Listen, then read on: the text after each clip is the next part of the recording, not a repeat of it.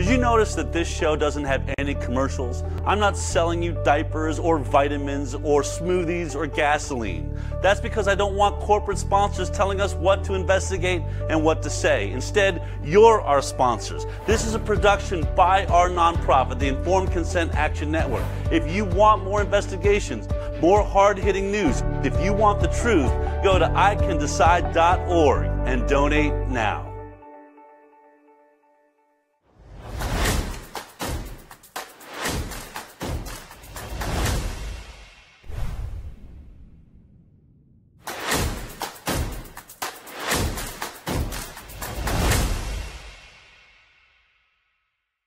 Good morning, good afternoon, good evening, wherever you are out there in the world. It's time for us all to step out onto the high wire. Well, I'll tell you, I'm getting really super excited for the Defeat the Mandates rally. It's happening in Los Angeles coming up this Sunday.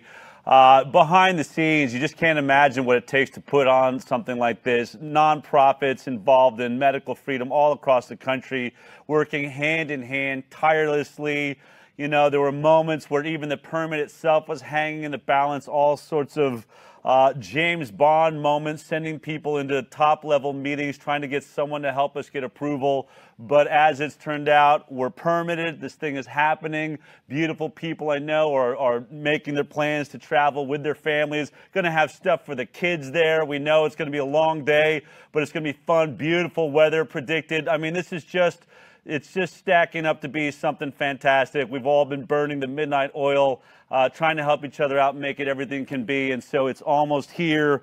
Um, and so we're going to be talking about a little bit of that today, especially, you know, all of those involved, many great speakers from all walks of life uh, in, in that discussion. But when we think about this rally and why I think it's so important, you know, there's been moments, and we're reflecting all week on sort of those sea change moments uh, in, in, that have happened in this movement um, that really sort of defined moments where we shifted into a whole uh, different place. And I think this is going to be one of the, those moments. In, in Washington, D.C., which was the first Defeat the Mandates rally that took place just a few months ago, uh, when we were there, I've talked about it, just this amazing turnout. And really, what shifted was the media around it. All of a sudden, we were no longer this fringe group. They finally, it was, it was almost like the news actually was believing its own hype. That they were right, the vaccine was great, well, it wasn't so great, well, it's not that good, it's good enough, oh, well, a couple boosters. You, we watched the descending narrative on that crappy product that they all supported. Uh, but it was standing there and seeing all those people, the media finally was saying, this isn't a fringe group, folks. We have underestimated what's taking place here. This is a movement. And shortly after that, polls started showing drops in confidence in the government, drops in confidence in the Biden administration, in the Democratic Party. And I'm not going to make this political. It shouldn't be political. This is about all of our freedom. But all of a sudden, the White House started releasing its grip on us, realizing that they had to make a shift. I, you know, when we think about Hollywood, though, this is the propaganda machine of the world. I mean, we just celebrated the Academy Awards. I didn't watch a single inch of it, not even the slap, so I'm not going to talk about it. But the point being that, you know, Hollywood is what has been puking out this, this disgusting narrative in all of their television shows, in the news, in the media. And in being a part of Hollywood, you know how many people you know, are in there that are, you know, sharing ideas. They eat good food. They're not vaccinating their kids, or at least they're living healthy lives that haven't been allowed to speak. And so when I saw the headlines that were starting to pop out around, you know, Disney and, and all here, here's some of them Netflix to require COVID vaccinations for actors and other Zone A personnel on its U.S. production. Zone A, just so you know, is all the people like on set, like that are interacting with each other Everyone's going to have to be vaccinated, whether you like it or not. Now it's going to booster shots. They all have to have booster shots. They're all having to wear masks in the LA sun all last summer if they wanted to work. Uh, I think we had another one here Disney to mandate COVID 19 vaccinations for all U.S. staffers. Um, it was just that mandatory COVID 19 vaccinations can be required on set for film and TV productions. And so imagine, you know, your whole industry. We've all have different walks of life and different jobs that have been forcing this on us. But this is where our media is coming from, which is why it's so important that this rally is taking place I say in the belly of the beast, and certainly in the belly of the propaganda machine known as Hollywood. I know there's a lot of people in there that are afraid to speak. We've been reaching out to many of them. We've got some great people lining up to talk, but you wouldn't, it's just amazing how terrified actors and directors and people in Hollywood are to even broach this subject, even on a phone. It's like they, they, they feel like the phone's being tapped.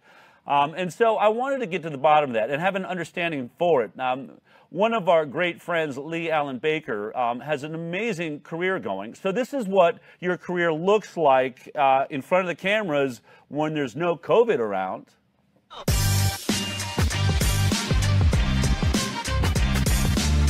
And good luck, Charlie. You were hilarious. Did they let you ad lib a little bit? Did they let you be yourself? Yeah, no, I ad libbed a lot. The camera's rolling. They can't stop my freedom, right? What are they going to do? What is it like being a mom in real life and then having your own family and coming here and having another family? Well, it's great because whenever I'm sick of one family, I can just go to the next. I think that I'm a lot of fun at home. My kid thinks I'm the bomb diggity. Things don't go smoothly for the Duncans when it comes to delivering babies. Let's just say that. Baby's coming. Yeah, we gotta get mom to the hospital. Come on, honey, get in the car. Oh! I just finished executive producing and starring in a movie for Disney Channel, which is released this Friday the 13th. Dashing through the snow in a one-horse open sleigh. Oh, O'er the fields we go, laughing all the way. I remember watching one episode where you were like, you were somehow in like a breakdown scene, bust a move situation. yeah. And I was like, yes, you go. I often find myself in those situations. what would be next on your list of like dreams of things to achieve?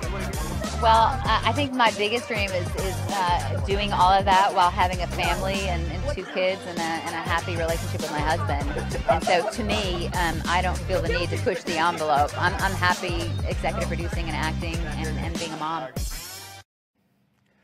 Yeah, and happy as long as you keep your mouth shut and keep doing what you're told and stay off of the topics that matter. Of course, Leigh-Allyn Baker got herself in a lot of trouble speaking the truth, and this is her at a couple of school board meetings.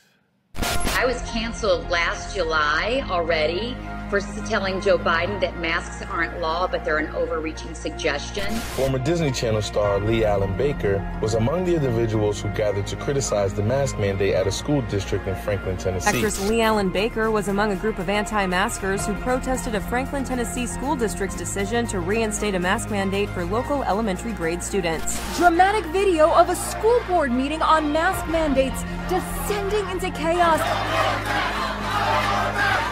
now learning that one anti-masker at the meeting in Tennessee is a former Disney star. My name's Leigh-Allyn Baker, and I'm a California refugee. I gave up everything there a really successful Hollywood career, television shows, gave it all up for freedom. Her anti masker stance raised the roof.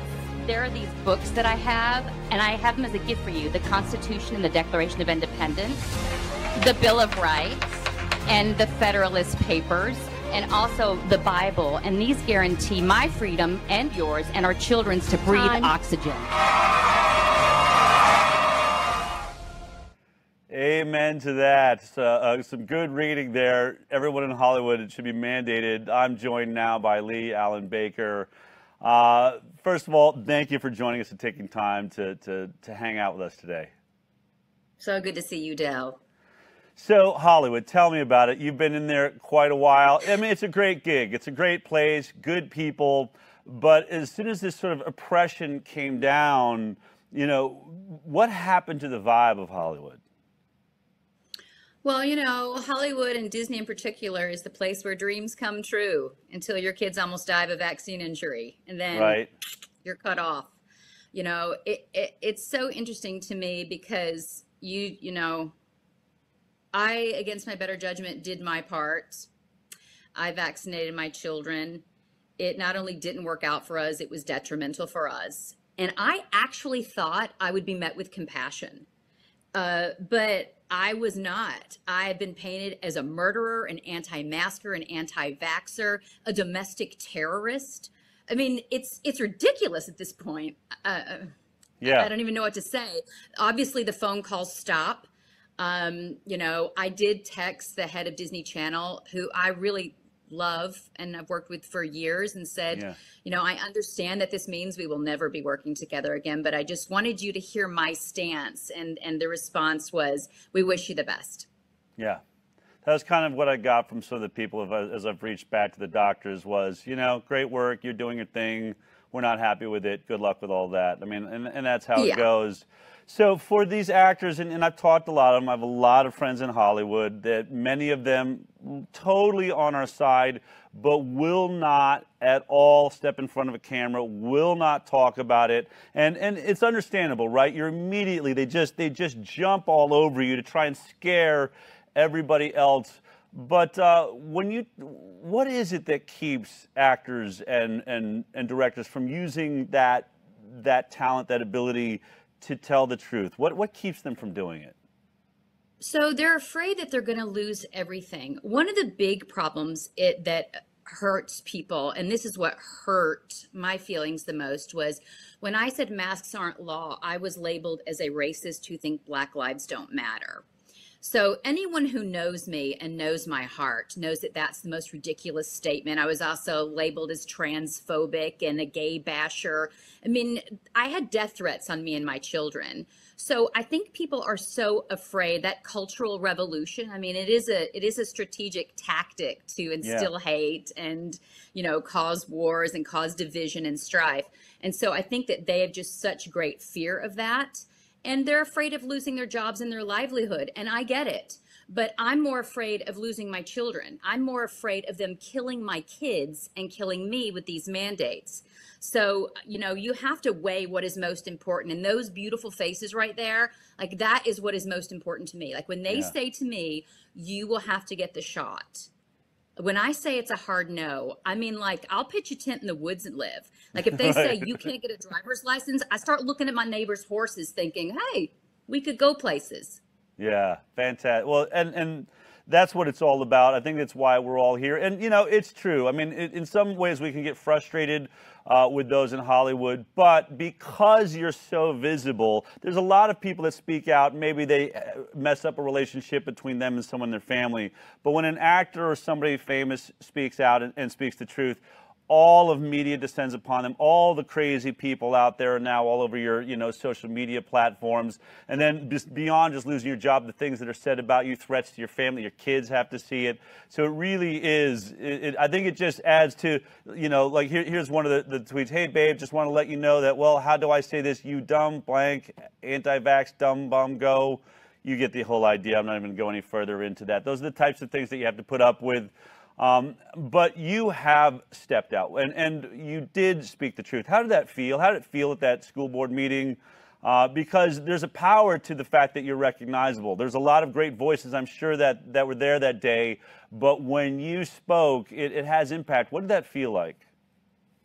Well, it was really shocking to me, Del, because I've spoken at four school board meetings in Los Angeles at the Los Angeles Unified School District, and no one cared, and it wasn't a peep wasn't heard anywhere. Mm. Um, that's because I feel like California, they feel like they're winning the game in California, but Williamson County, they this is a hotbed for them wanting to take it over. And when I stood up and spoke, you know, I didn't even have makeup on that day. Like I, I had no idea this thing was going to be filmed, and certainly didn't think it was going to go viral.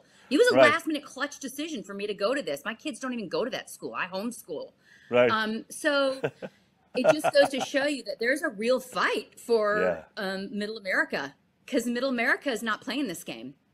So I, I, think there's going to be tens of thousands of people this Sunday. Um, you're putting together, you know, a statement for the group that's out there. How important is it? What do you think effect this could have on Hollywood and Los Angeles and politics? Just in your mind, as you think about when we watch television, we see tens of thousands of people taking a Sunday afternoon to stand together for freedom. Does it make a difference? Well, I mean, we're all going to be on the domestic terrorist list, so just prepare yourself for that. um, you know, I'm, there's nothing terrorizing about me, and there's really not much domestic about me. You can ask my husband. Um, but I do think that it will make people come together and question. I mean, just it's been so taboo to even ask questions about this medical product. Why is this the only medical product on the planet that definitely has a side effect of death? It's proven and it even they admit it. That's why there's no liability for it. You know, why are we not allowed to ask questions for it? I think that when people come together, it's going to just hopefully embolden more people. I mean, this is the hill. If actors and actresses are sitting around thinking that, oh, eventually I'll come out, this is it. Like, this is your chance. This yeah. is the hill. It's time to step up. I agree because if not, then it's over for you. It's over for your kids. California is on the verge of absolutely sinking. It's why we're all rushing there. Never leave a state behind. We can't let California fall. 10 horrific bills. Some of them are already being put on hold. We're having some effect. So psyched that you're part of Defeat the Mandates, but this hasn't really even been an end to your career. You have a great movie uh, coming up, which we're really excited about. Just tell me about that so that we can at least give you a plug for, for being brave, beyond just being a great actress, funny, putting out great material. Now you are a freedom fighter and still putting out movies. So tell me about uh, Family Camp. So this movie, I had gotten this movie before uh, COVID was introduced and before it was pushed upon us, and so I was always going to be going to do this movie. They had shut it down, and then Oklahoma happened to be the first state to open. Now, they tried to stop me from doing this movie. Screen Actors Guild sent out a blast to every single person in the union saying that they were not going to make this a SAG signatory. They were refusing to return their phone calls, refusing to fill out paperwork, just basically making it impossible to make it a SAG film. So I said, no problem. I'll go Fi-Core. So actors, there's this thing that you can do called going Fi-Core to where you can do both union and non-union films. And this film was so good with such reputable companies that I knew I was going to do this movie and they were not going to stop me. So fantastic. it's a fantastic, family friendly, faith based movie that is full of laughter. It's the first Christian comedy ever. And right. what I love about it is that it sets the table for everybody to enjoy this movie, whether you're a Christian or not. All right. Well, we're looking forward to it coming out in May. Everybody, make sure you that we support those that are out there telling the truth and keeping their career together. Leigh-Allyn Baker, you're fantastic. Uh, you're a hero, and I want to thank you so much for joining us with Defeat the Mandates and joining us today. Uh, we'll talk to you soon. Thanks, Dale. All right. Take care. All right, well, it's Defeat the Mandates. I'm going to keep hitting it. If you have any questions about where it is or, you know, how do I get there or how long is it going to be, what's happening, just go to defeatthemandatesus.com. Please share this with everyone you know. Definitely just repeat that website because a lot of people get confused. The information is there, defeatthemandatesus.com. Let everyone you know this is going to be the event of the century. Um, so many people coming together to make this happen. So we're really excited. I'm excited about the rest of this show. I got Joel Aylworth coming up. He's going to talk about what it meant to get kicked out of law enforcement uh, for not taking the vaccine. What does that mean for the future of law enforcement and our safety in America? Jamel Holley, a politician in New Jersey that was there during the huge uh, rally we had, one of those, those turning point moments. We're calling it the second battle of Trenton. I'm going to talk to him about what it means in politics to see people come together. And then hopefully Pierre Kory, uh, one of the great doctors from FLCCC, is, is, is flying right now. If we're lucky, he may get to tap in with us in a, in a stopover uh, in an airport somewhere. Either way, a lot to celebrate. And then we're going to, uh, another one of those powerful stories so many people throughout of this pandemic talked about the inability to get to loved ones that were suffering inside of hospitals, whether they elderly or friends or they had COVID, couldn't get to them. Some of them passed away without anyone around them. Uh, one of this is one of those stories, a situation happening in hospitals all across this country that must stop. It's criminal. Uh, this is one of the most unbelievable stories you're ever going to hear. We're going to talk to that family coming up. But first, it's time for the Jackson Report.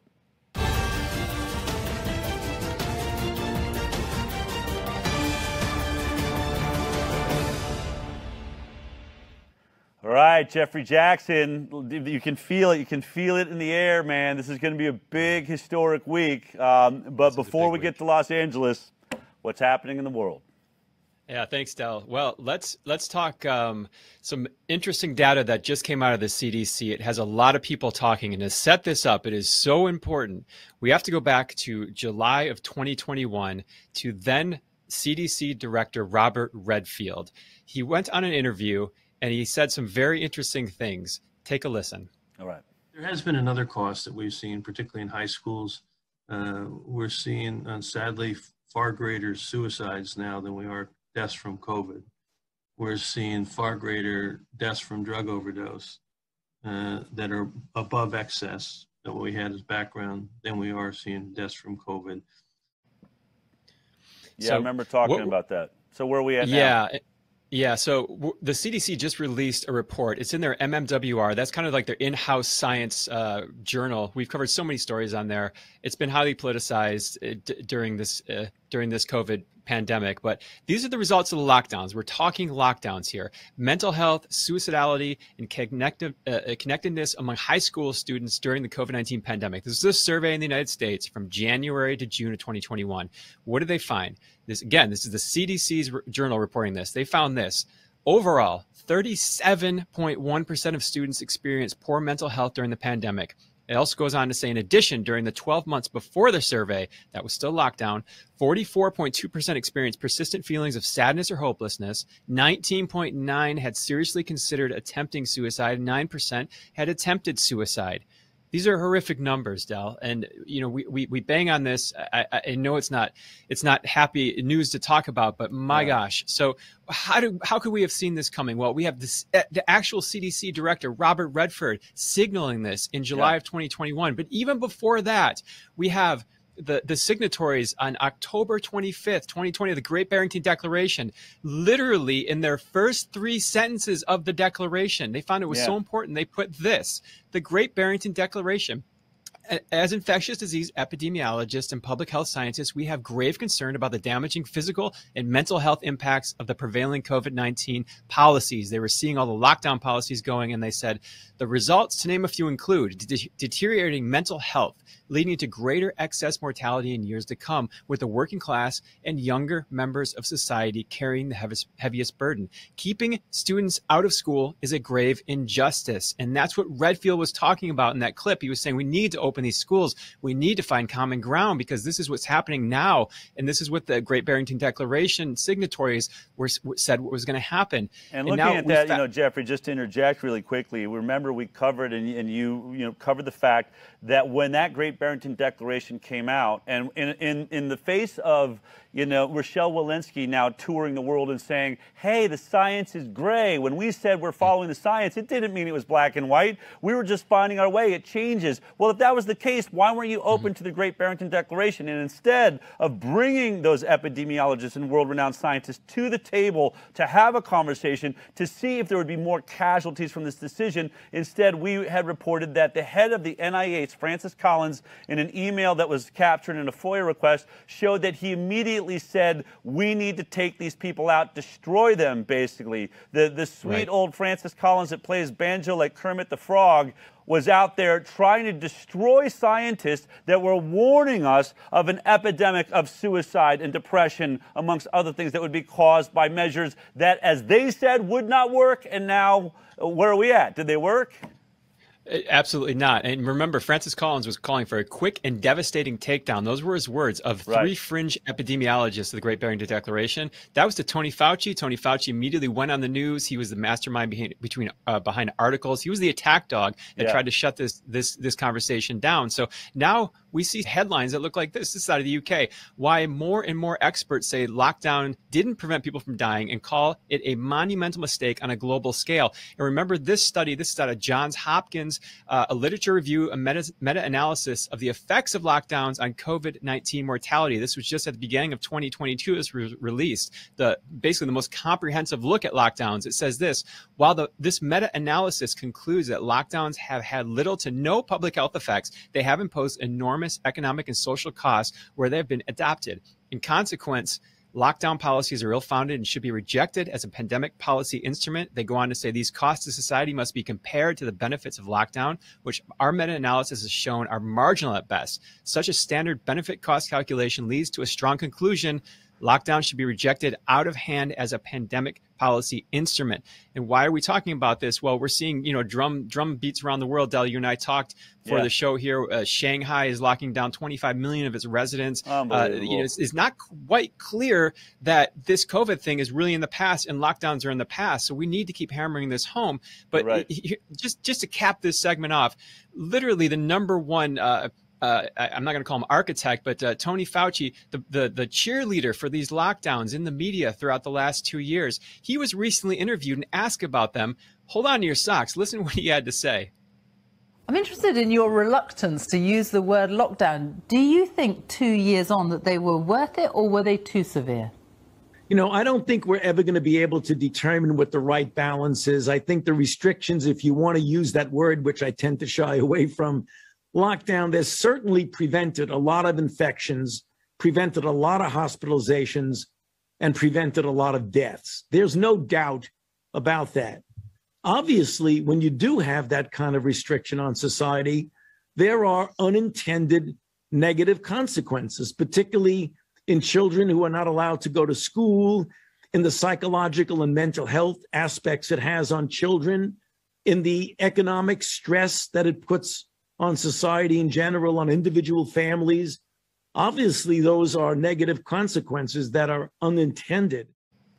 I mean, he's even, mm. you know, half right there when he says, I mean, there's no doubt they worked. In fact, Johns Hopkins, uh, John Ioannidis, every study, meta-analysis of all the studies around the world are showing, as they said right there in John Hopkins, negligible, if at all. So there were not, there were no benefits. There was only negative effects by this, and yet he's out there. At least he's admitting we'll never really know. Uh, a good scientist should be able to know. Good data collection would have led us to those answers. And this entire heaping, steaming, stinking mess that was caused by Anthony Fauci, the fact that we have to listen to this guy anymore in the news at all, it's astounding. If anyone out there, I'm sure you're not watching my show, think this guy is a hero. Just, I'll have you know, I will never give up until I see that man in prison. you, don't, you don't have your little Fauci candle burning right no, off camera I there? don't. No. All right. Well, so you're talking about uh, yeah, you're talking about data.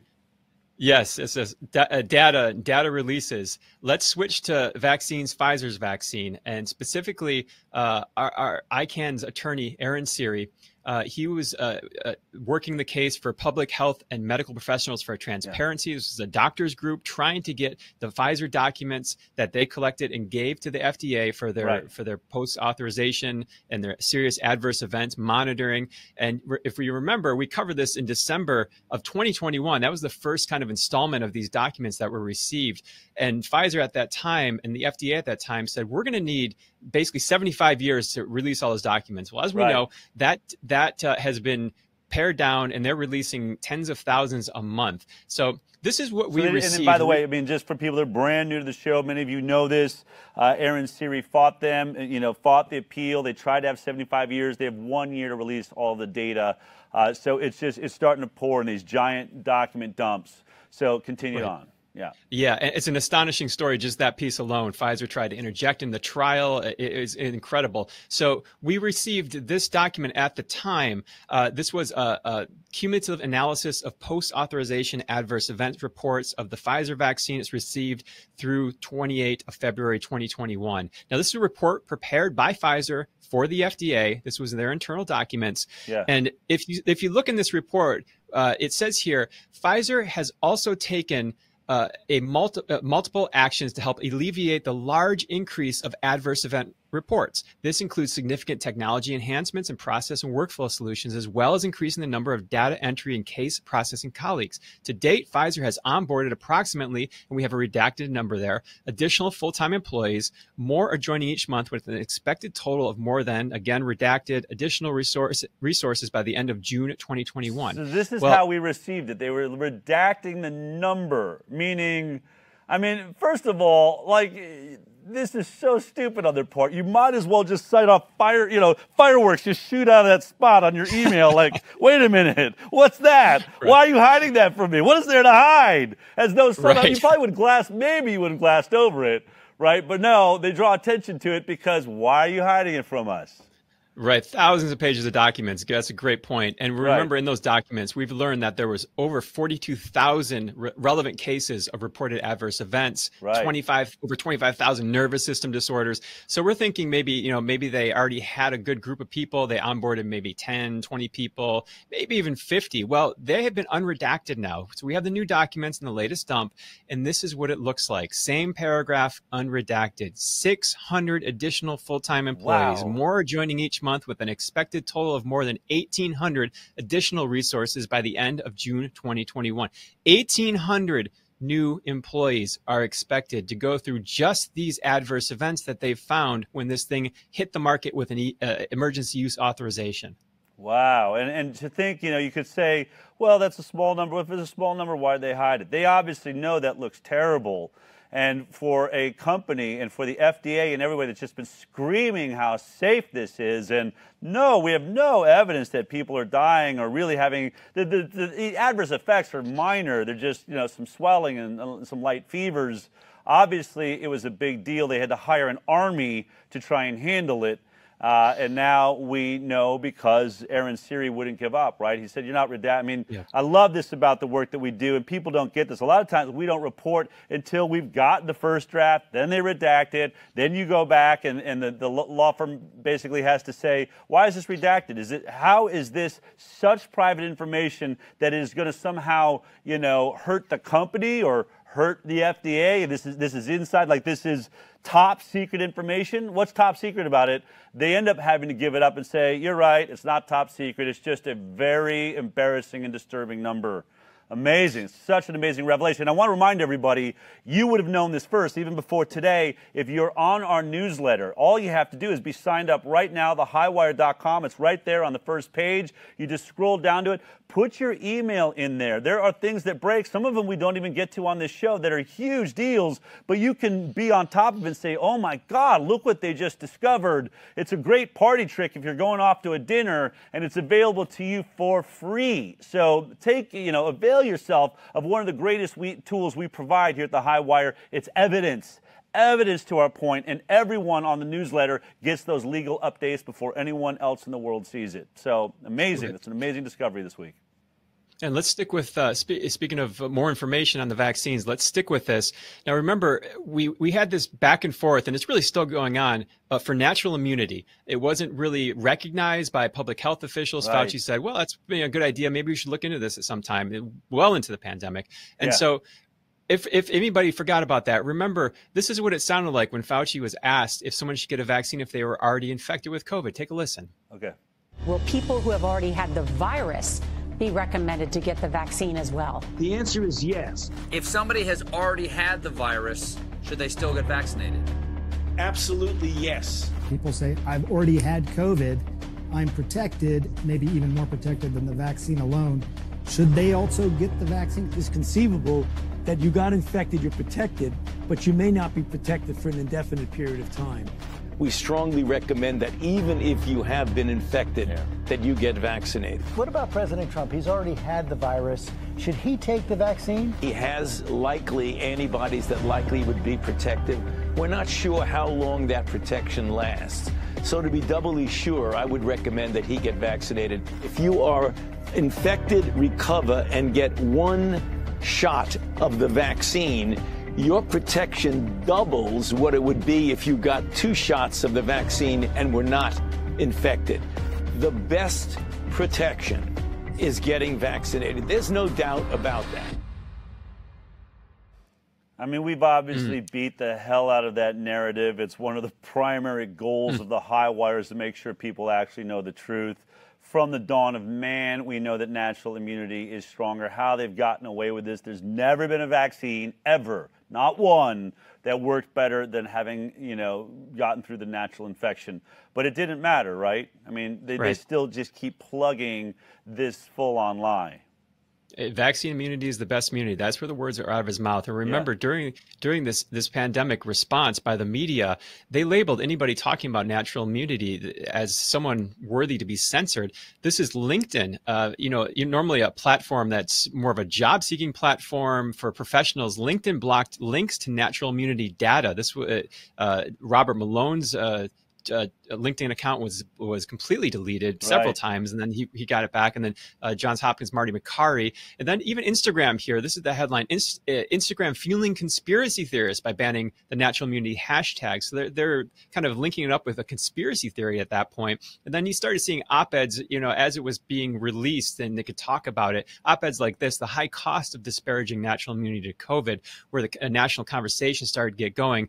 But you know, I guess the theme of this whole segment here is how do we actually lose sight of the actual science? You know, we talked about that with the with the suicide increase. We knew all this was happening even before COVID, and so let's listen.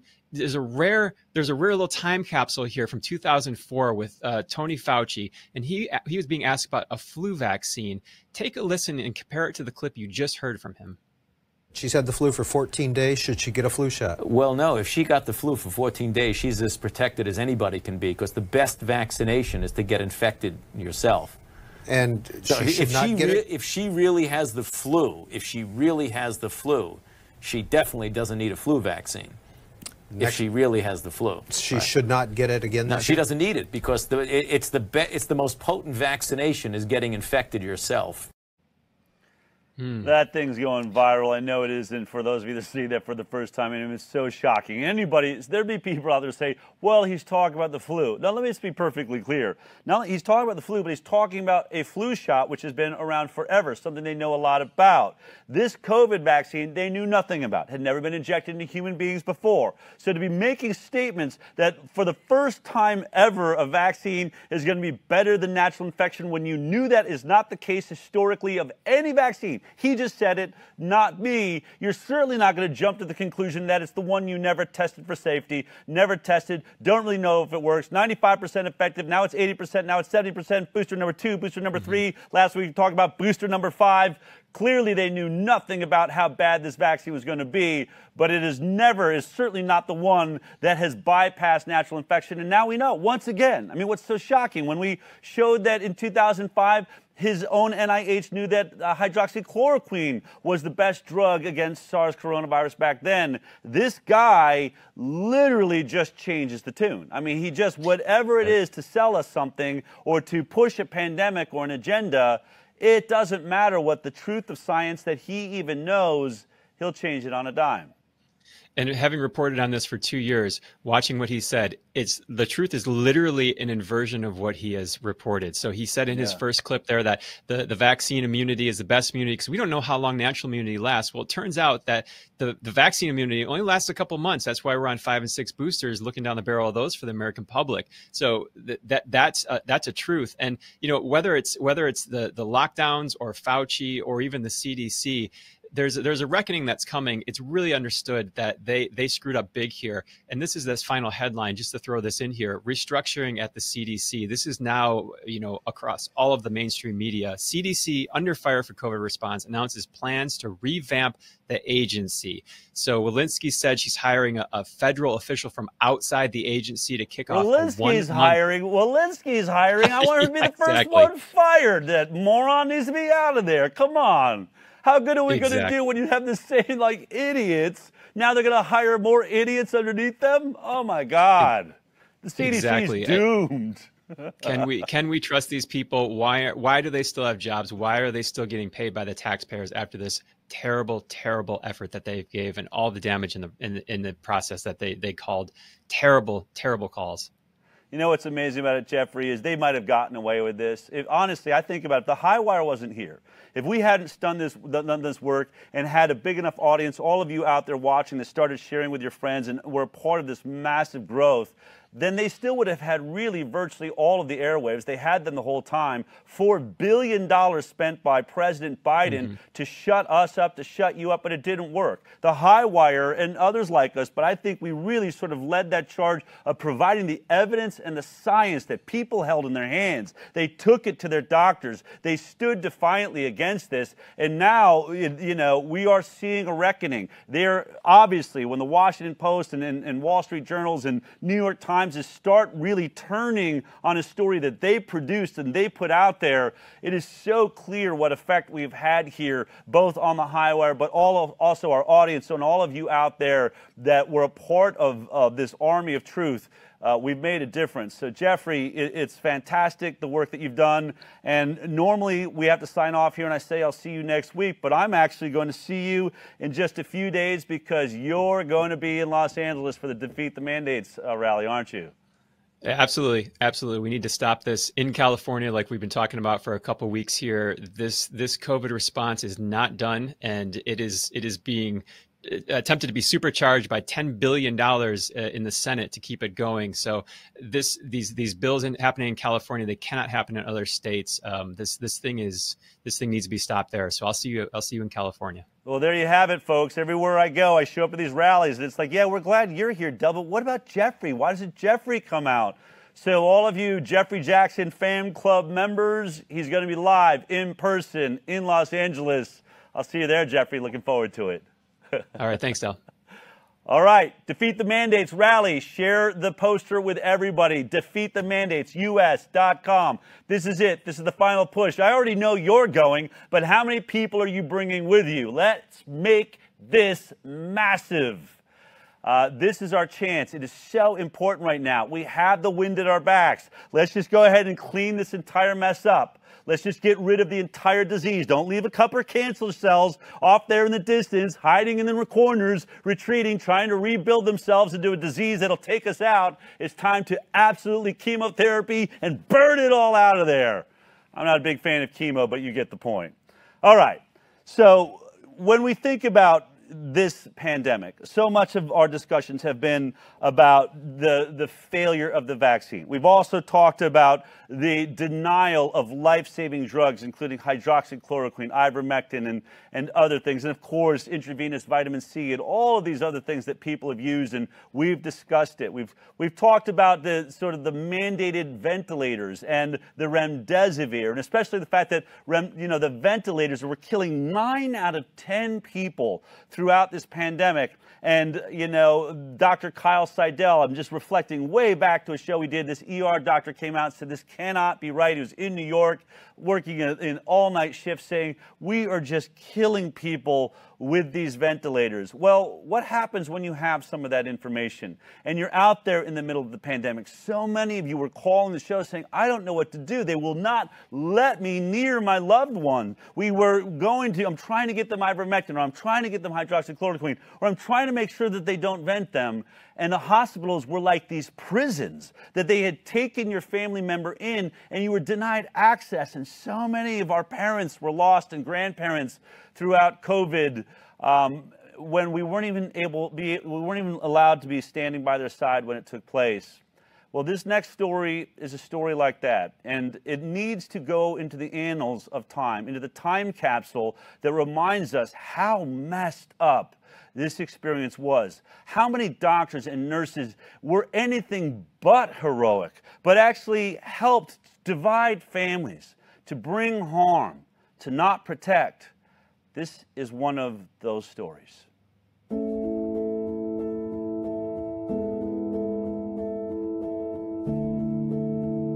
Here's Chewbacca, known as Chewie. Grace was um, phenomenal. She loved everyone and she loved everything. She was my best buddy. Uh, she went hunting with me. We got her a red convertible when she turned 18. and it was just a joy. We'd get out on the highway and she would say, let her rip, Dad. and so we, we would. We found out that uh, we were blessed with Grace having Down syndrome when she was born. Down syndrome is actually um, the presence of a third um, 21st chromosome, which she called her love chromosome because everybody that knows a child with Down syndrome, they just love unconditionally. Down syndrome did not stop Grace whatsoever. There wasn't a thing she, she didn't do. She rode horse, she played violin. Uh, my wife, who's gifted in teaching, taught her how to read and write. The things that Grace taught me um, were really above and beyond whatever I taught her. I say thank you, thank you very much. Grace and I got COVID around the same time, and Grace was doing great. She really was just having symptoms of a cold. We were monitoring her oxygen every day with a, a oxygen meter. Grace's oxygen level was just below 90, and we assumed that that means check into the hospital. So we took Grace to urgent care, and they did a complete blood analysis and measured her inflammation markers. Her D-dimer was greater than 5,000. So the emergency room physician had thought that we should admit Grace to the hospital. And they did a CT scan because of that D-dimer score. And her CT scan was negative, so thankfully she didn't have clots. But he said, it's, we got to monitor you very closely on this. We never would have considered that this is a dangerous place to put her in. The first day was great. We watched a couple movies and, and goofed off. The second day was October 8th. At 8 o'clock in the morning, a doctor came in and said, You're going to need to put a, your daughter on a ventilator in the next two hours. And I said, What is that recommendation based on? And he said, We did a blood gas draw last night, and it shows that she's in bad shape. So I said, I'd like you to retake the, the draw. So they did, and Grace was fine. What they did subsequent to that was they asked us four different times for a pre authorization that if they decided Grace needed to be ventilated, they could do it. Obviously, we weren't going to agree to that. It didn't make any sense. The third full day, the start of the, that day, a nurse came running in and said her oxygen saturation is only at 85%. And I thought, this cannot be, it's impossible. So I had my own oxygen saturation meter in the room. So I put it on Grace's finger and it read 95%. And I said, is my meter accurate? And she said, yes. I said, well, why, why is my $50 meter more accurate than your $50,000 meter? And she said, the leads get sweaty. And I said, if you know that, why don't you proactively change out the leads every three or four hours or whatever it takes, given this is the primary statistic you are using to manage my daughter's care? And she snottily responded, You should just be thankful you caught this. On Sunday, October 10th at 7 o'clock in the morning, the head nurse came in with an arm guard and she said, You need to leave immediately. And I said, well, What's the reason? And she said, Well, you've been shutting off the alarms at night. And I said, Well, that's because I've had the nurses train me how to shut off the non essential alarms. I said, They're going off constantly, 20, 30 times a night. And we've got to get sleep. I mean, Grace has got to get sleep to get well. And so then she said, the, the second reason is the last three shifts of nurses don't want you in the room. Obviously, because I was challenging the, the protocols that I was seeing. So I called an attorney friend and he said, Scott, just leave peacefully. And I gave Grace a hug. Yeah, you know, I could just see in her eyes she was sad. That's the last time I saw her. Grace was alone in the hospital for a total of 44 hours. My wife Cindy couldn't be the replacement advocate because she had COVID. We had to negotiate because of the hospital wanting to follow COVID policy, their internal policy versus the law. Grace had a right to an advocate under the Americans with Disabilities Act. So they denied the advocacy.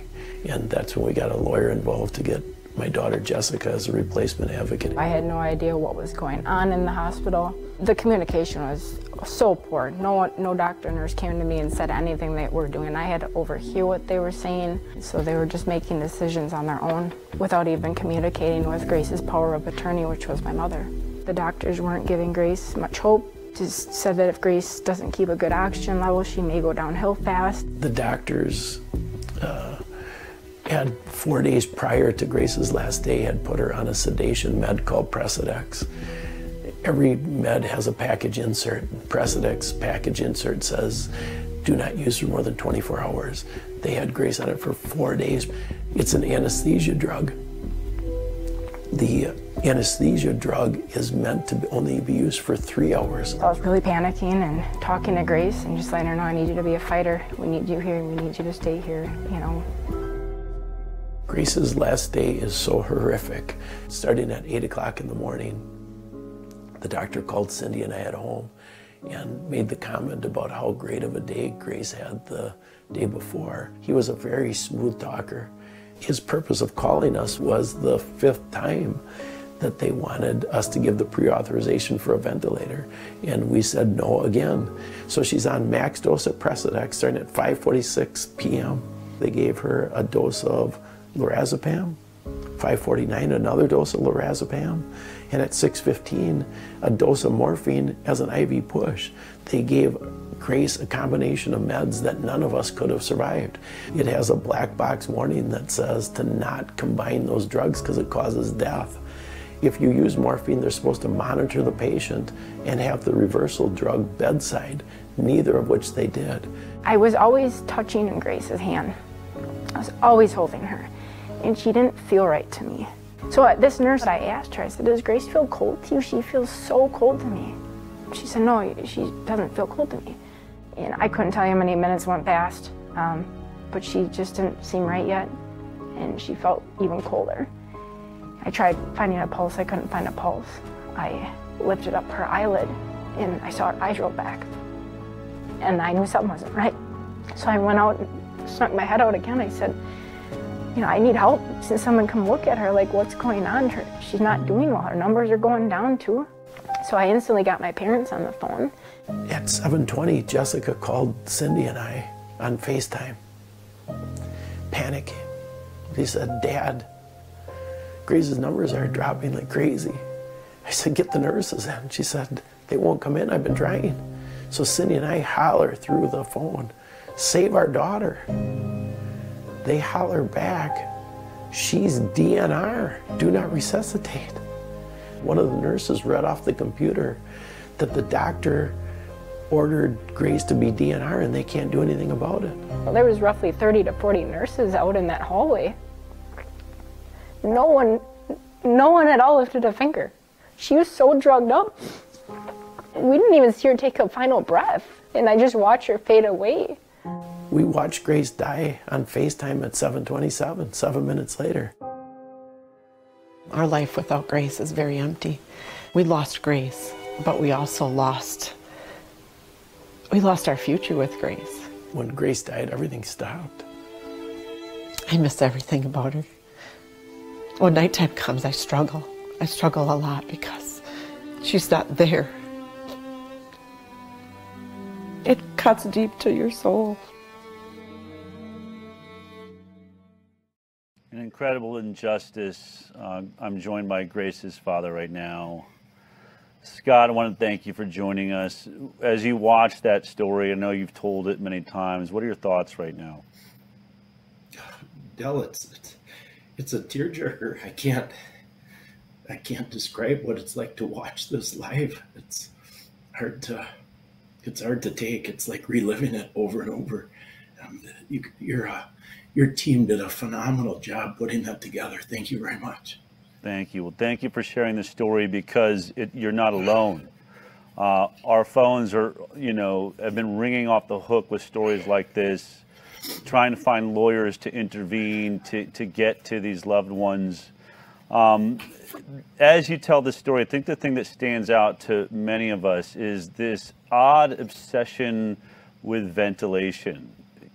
Did it strike you as it was taking place that there was something unnatural about their desire to be able to ventilate your daughter in an emergency? Like at any point, you are so available. They can call you at any time if it gets to that point. So they, you know, why why do they need to to be able to ventilate? What were you thinking about that? Yeah, that's a great question. You know, when we entered the hospital, I would have had the ventilator paradigm that most people would have had, which, you know, at the beginning of COVID, President Trump, I think unknowingly, was promoting that we have a ventilator shortage. And so I just thought, well, I mean, a ventilator is part of the, the puzzle for the cure. And thankfully, when the doctor on Grace's second day said that you have to put your daughter on a ventilator in the next two hours, and I challenged that, um, and then he redid the blood gas draws. And I asked him then, what is the prognosis if somebody goes on a ventilator? And he told me close to the truth, which he said only 20% of the people on a ventilator walk out alive. I found out subsequently it's closer to 15%. And most of the people who are put on a ventilator during COVID uh, die within the first year because of the damage it does to their lungs. But what really clued me in is the nurse that was his assistant at that time when he was in the room started crying. And after talking with her, I found out she had a daughter named Grace, and she knew that if I made that decision, then Grace was going to die. So now instantly I was educated on ventilators. And then after Grace died, as, as you know, I've spent hundreds of hours researching and found out the why behind the ventilator push, which is you know, of course, a money trail. So now, of course, I'm very wise to it, and I share it with anybody that I can. Yeah, we've had several doctors. Scott Jensen, who is sort of up north up there, uh, a senator, really spoke out about this, how they were being paid, paid first to say someone has COVID. And then in, in many cases, the number I heard was like a $26,000 bonus to the hospital once they put you on a ventilator.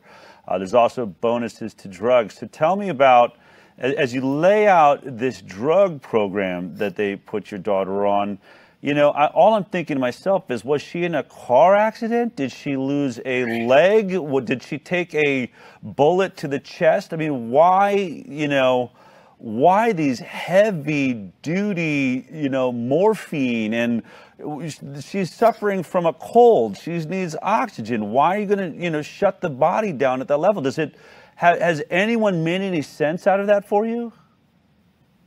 not the why. I mean, ultimately, only God knows the why. But as I keep drilling this down and learning from other doctors, we have an intensivist who wrote me after reviewing the records because an intensivist is a doctor who specializes in med combinations.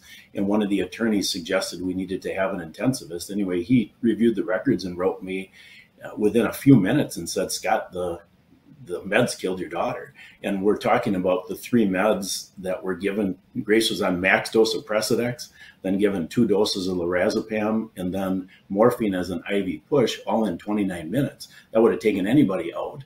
The doctor who helped us review the records, when she was done, she wrote me and and even crossed into intentional. She thinks it was intentional because it's so crazy. And so, I mean, we don't know why. You know, I'd, I'd, like I've speculated on why, but we don't know why. It just it, it isn't. We know it's not an accident because a 14 year ICU nurse is the one who delivered the meds.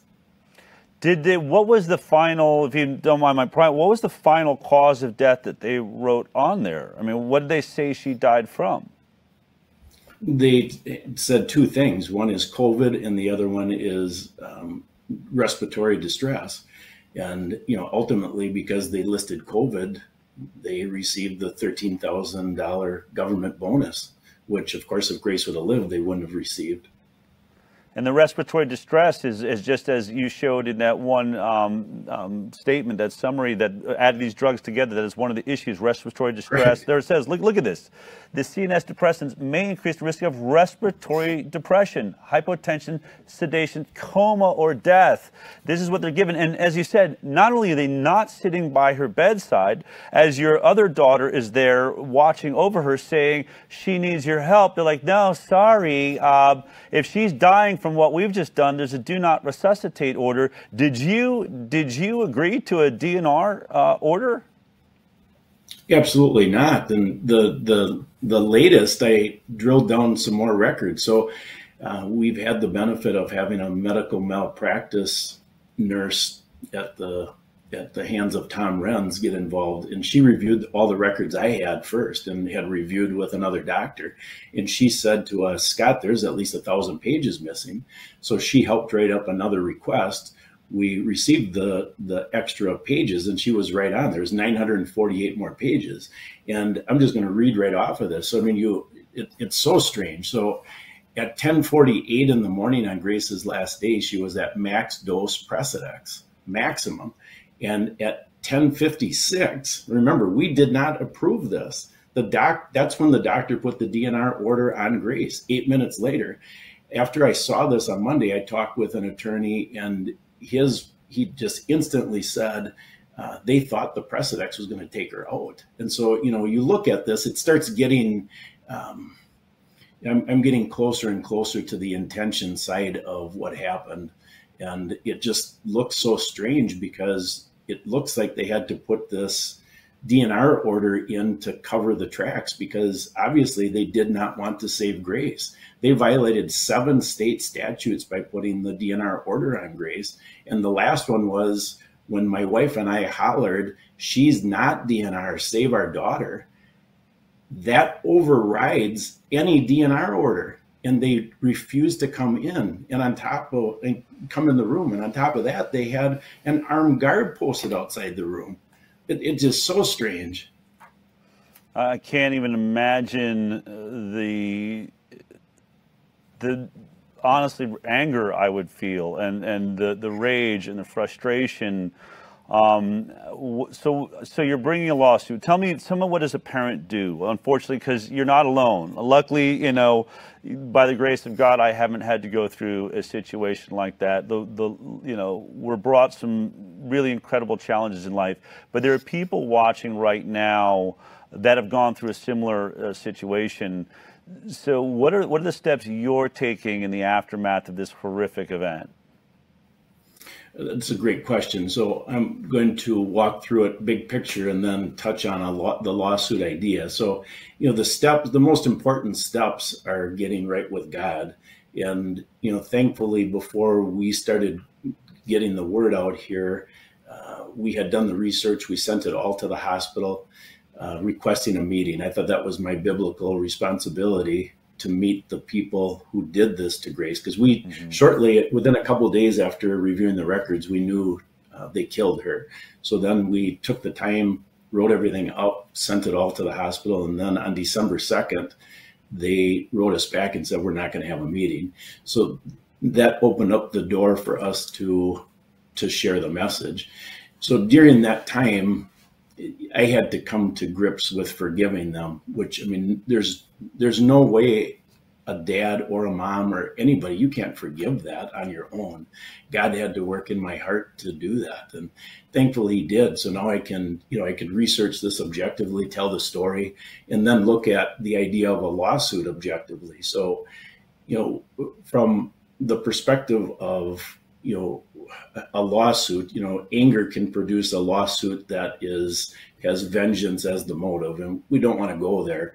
You know, if there's going to be a lawsuit, we we don't know that yet. You know, I, have been um, introduced to Tom Renz. He took a, you know, he just took an absolute love to Grace, which was nice, mm-hmm. and and he uh, out of his own pocket funded this medical malpractice nurse. So we have our arms around it and it seems that Grace's case has got is so egregious. It's got enough things in it. There's there's an overabundance of evidence that it would be a great test case.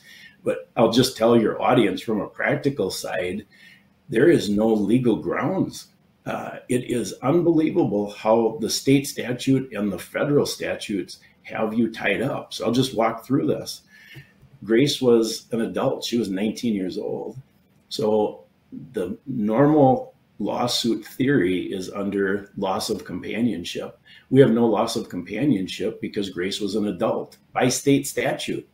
So then the next situation is medical malpractice.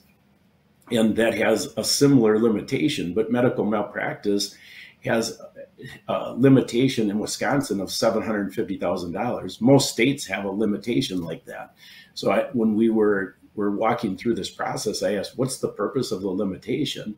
And I was told the doctors' lobbies have the limitations in place because otherwise doctors wouldn't practice if they had if they didn't have yeah. some immunity from liability. And so then the the um, so seven hundred fifty thousand dollar limit. I talked with a, a referral that they considered the best medical malpractice attorney in the state, and so he told me, Scott, even in slam dunks like this appears to be, you only have a one in 10 chance of winning. I said, Well, what's the reason? He said, and he gave me an example. He said, I had a case where the doctor sewed up a sponge inside the patient and we lost. Mm. I said, Well, how was that possible? He said, We brought 10 expert witnesses and they brought 100. Right. So they circled the wagons. And then, of course, as you know, they have immunity under the CARES Act. So, I mean, we have a, a, small thread where we can, just a small gap where we can sue, which is Grace's estate uh, can, can sue for pain and suffering. So, if that's what we do to, to promote a test case so that we can use Grace's case to stop this foolishness, uh, you know, that's, that's the angle that we would go in on. Well, you know, I know that those are decisions that you're making right now, um, but uh, the main reason you're here, and one of the reasons I, I, met you when I was out there on the speaking tour, and you said, you know, you really just want to get the story out so that we can start making changes. People need to get involved. They need to they need to know that these things are happening to people. Doctors need to know. We and so you know, you have a website. So tell me the things you're doing right now, and, and I understand you you even have a, a, a rally or something coming up this week. So is this uh, Uh, this is the website, www.ouramazinggrace.net. If you want to sort of check in on the story and, and track, I would guess, you know, the decisions that are being made in Grace's case. Um, this is the website. And then you want to stage a, a, bit of a protest, I guess, or something, right? Is that is that happening this weekend? It is. It's happening tomorrow morning from nine to noon. And thanks for mentioning that, Del. It's uh, it's pretty neat opportunity. We're calling it a memorial rally. Uh, the city of Appleton, so Appleton, Wisconsin, is is the city where Grace died, and she died at St. Elizabeth's Hospital, which is part of the Ascension system. Um, anyway, the city has been gracious. You know, we had to get a permit to be able to to have this happen, and they are closing off a street uh, right across from the wing of the hospital where Grace was killed. Uh, so it, it'll be fantastic. We're really looking forward to it. You know, there's a number of speakers, uh, people who have had similar situations to us, uh, people flying in to speak, and so we're looking forward to it as a way to honor Grace and and um, we really hope that it can be used to, if God wants to use that to to bring the people in the hospital to acknowledge what they did and repent. I mean, that would that would be the ultimate justice, and it would be fantastic. You know, um, Scott, uh, and for everyone out there, if you're in the area, Wisconsin or surrounding states, I think these are these are those important moments where we really can make a difference. We really can make the news. We really can make change by standing together. Of course, we have the huge event coming up this Sunday, but we're talking tomorrow. We're talking about Friday morning, uh, Appleton, Wisconsin. If you're anywhere in the in the area, go to ouramazinggrace.net for any information on this. And, and what do we, you know, what do we hope to achieve with things like this? What we hope is that a politician will listen, that our, you know, that our leaders will say, you know what, obviously we have to intervene here. The fact that these hospitals are so, you know, protected from liability, your average citizen is just not, it's, it's, you're up against a mountain, or as you said, the wagons uh, are all drawn around you. I want to point out that the reason we have moments like this is what we just saw happen in Florida. Uh, Governor Ron DeSantis has just uh, brought a new bill. Governor Ron DeSantis signs bill to guarantee visitation rights for patients and their families. Um, that's huge, right? I mean, that that's what you want to see happen in Wisconsin. We should all, and the fact, I mean, the fact that we have to have laws that state that you have to let me in to be a representative to to my my relative is insane. But we're at that point. Is that sort of what you would like to see happen up in, in Wisconsin? Is the government to get involved and say a hospital cannot ban you from the room where your loved one is is being treated? I, I would say that's a minimum. You know, so we were in the room and they still took out Grace. Right. There's a lot, you know, there's a lot going on here, Del as you know. Uh, we we really see that you know Grace's case as I've drilled it down. There's some specifics on her last day that are so crazy. Uh, she was strapped down to the bed for wanting to go to the bathroom. You know, just process that you know, that was one of the hardest things for me to tell until an attorney friend said, Scott, do you think that you would have been strapped down to the bed? I said, no, I wouldn't have been. So I started digging that Sunday. I got up at three o'clock in the morning, went through the records one more time, just looking for Down syndrome. Because I thought, you know what? I think they strapped her down because they could. And in the 22 doctors' reports that were written during the seven days Grace was in the hospital, they referenced the fact that she had Down syndrome 36 different times. They also referenced the fact that she's unvaccinated, that she's Christian, that we're following the frontline doctors' misinformation campaign. There was such a bias toward her in our family that you think, how could she ever survive? So, where is that even coming from? You know grace's story you know with everything you're covering you see grace's story is really just one sliver yeah. it's really a new angle that the government has in this in this uh, mastermind agenda that they're they're pushing yeah it's really um, there is a lot to this that is so suspect. And when you think about these discussions we've had, I won't get into it here, but when we look at many of the banking issues, Europe, you know, some of the specialists saying that Europe is about to go bankrupt, America is on the verge of bankruptcy, pensions not being paid out, disabilities costing the government, and it does almost seem systematic the way we've been putting uh, elderly people on ventilators and, you know, handicapped and those uh, maybe that can't fight for themselves. So I, I really want to thank you for taking the time today, Scott. Um, our hearts are with you, our prayers are with you. Um, I know that we can't bring Grace back, but I do know that we can make sure that this story of Grace's life is able to make a change so that others never have to suffer what you've gone through. And I want to thank you for your courage for standing up and, and, and using this instead of just, you know, letting it tear you apart, actually going out and trying to save others it is what's truly great about humanity, and, and you represent the best of us right now. And I want to thank you for taking the time. Well, Del, it's it's quite an honor, and realize that it isn't. It's God doing it through me because I don't have that strength on my own, and we are certainly hoping that this story pricks people's hearts so that they they realize that the government has duped them, and they can they can turn to the only one who won't dupe them. And you know that's that's really what this is is about.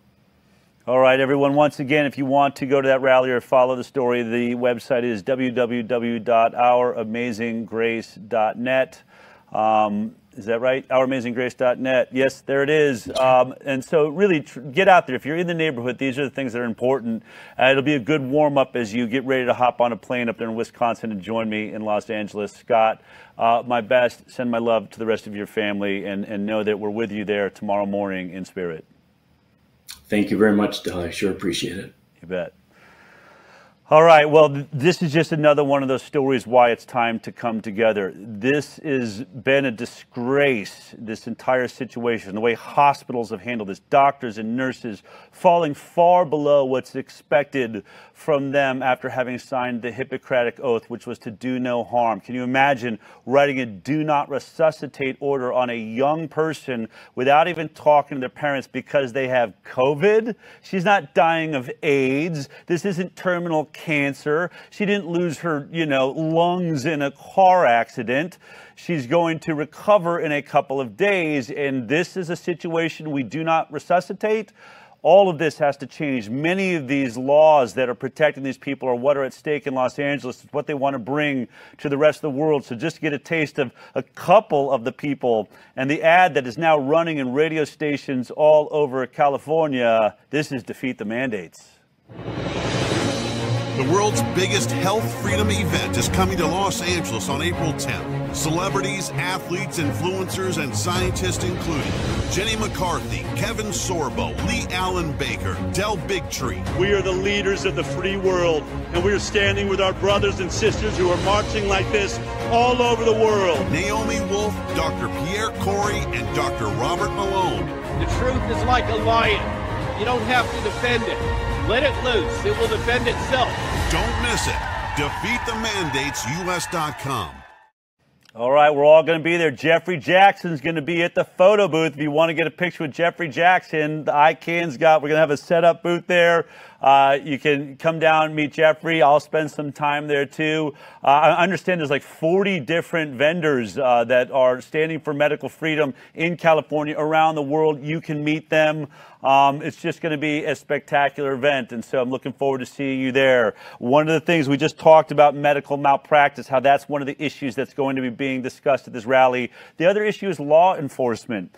Uh, we've seen all of the, you know, defund the police situations, but also we know that there's a law in Los Angeles. Well, here, San Francisco Mayor London Breed announces cuts to to police in new city budget, uh, forced vaccination of, of police officers uh, up and down California, 40 San Francisco police officers not vaccinated against COVID-19 placed on leave. I mean, at a time, and, and look what it's, you know, we've, we've talked about this, and now crime running rampant in cities all across America, governors screaming for help, mayors shouting for help, states of emergency, people robbing stores in broad daylight, all because, and we're laying off off, you know, officers, law enforcement because they won't get vaccinated? Or if LA gets or California gets away with the law there, they, they want to be able to take and defund you if you don't enforce the COVID policies on other people, kick in their doors, arrest them, force them to be vaccinated?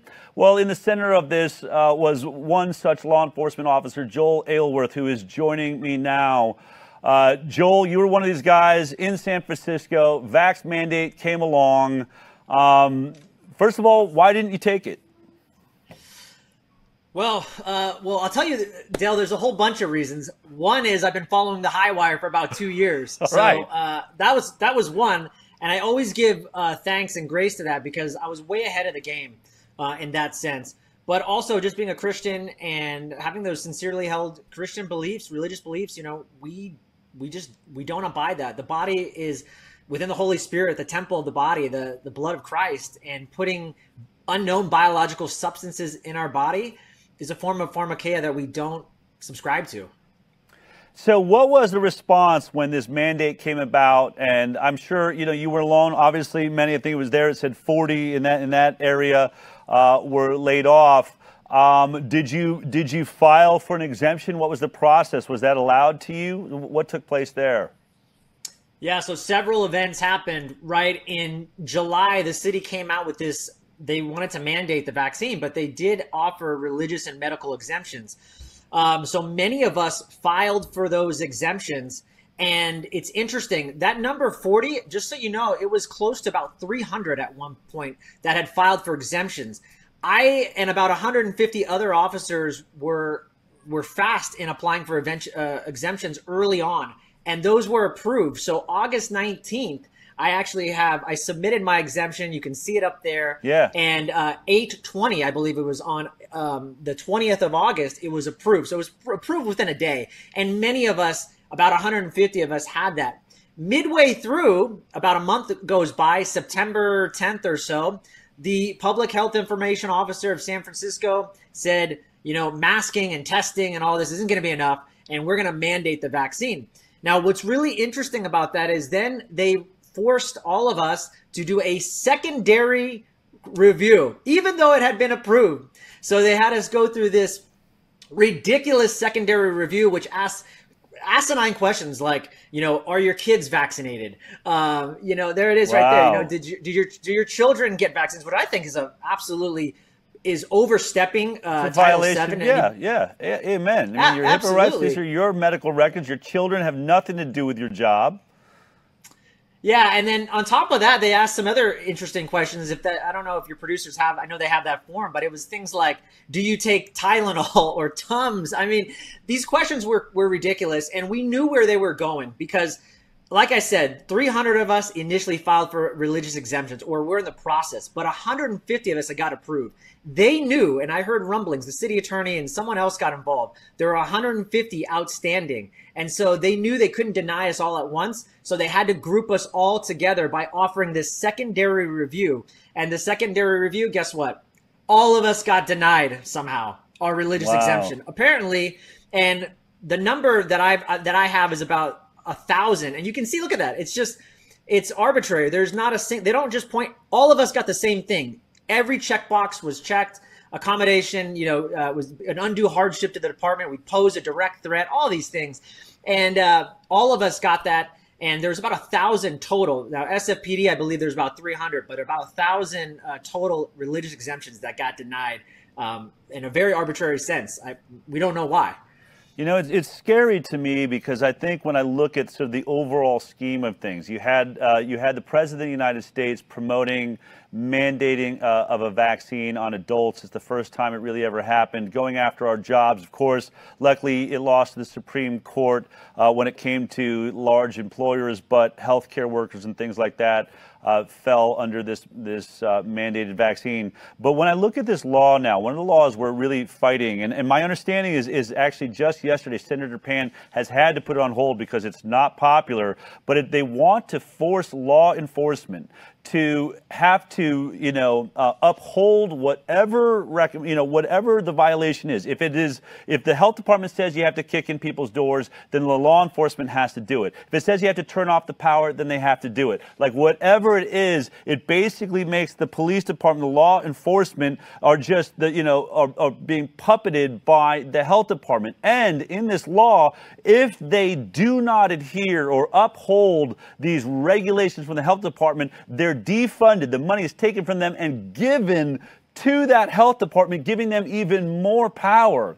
And when I think about like, and maybe I don't know if you've gone this far in your thinking or if you can, or but when I think about why is it you wouldn't want anyone on the police force not vaccinated in the beginning of this pandemic when you need them, it sure seems like if you really want, you know, I don't want to put it in bad term, but goons working for you that will just do whatever you say. Get rid of all of the free thinking police officers that represent, that see the unvaccinated as their brothers and sisters. They've got to be taken out. We need just the ones that fall in line, already have this thing, and then go and will do whatever it takes to force everybody else. Do you feel like that's a part of it, just to sort of cull the, the, the free thinkers out of the department?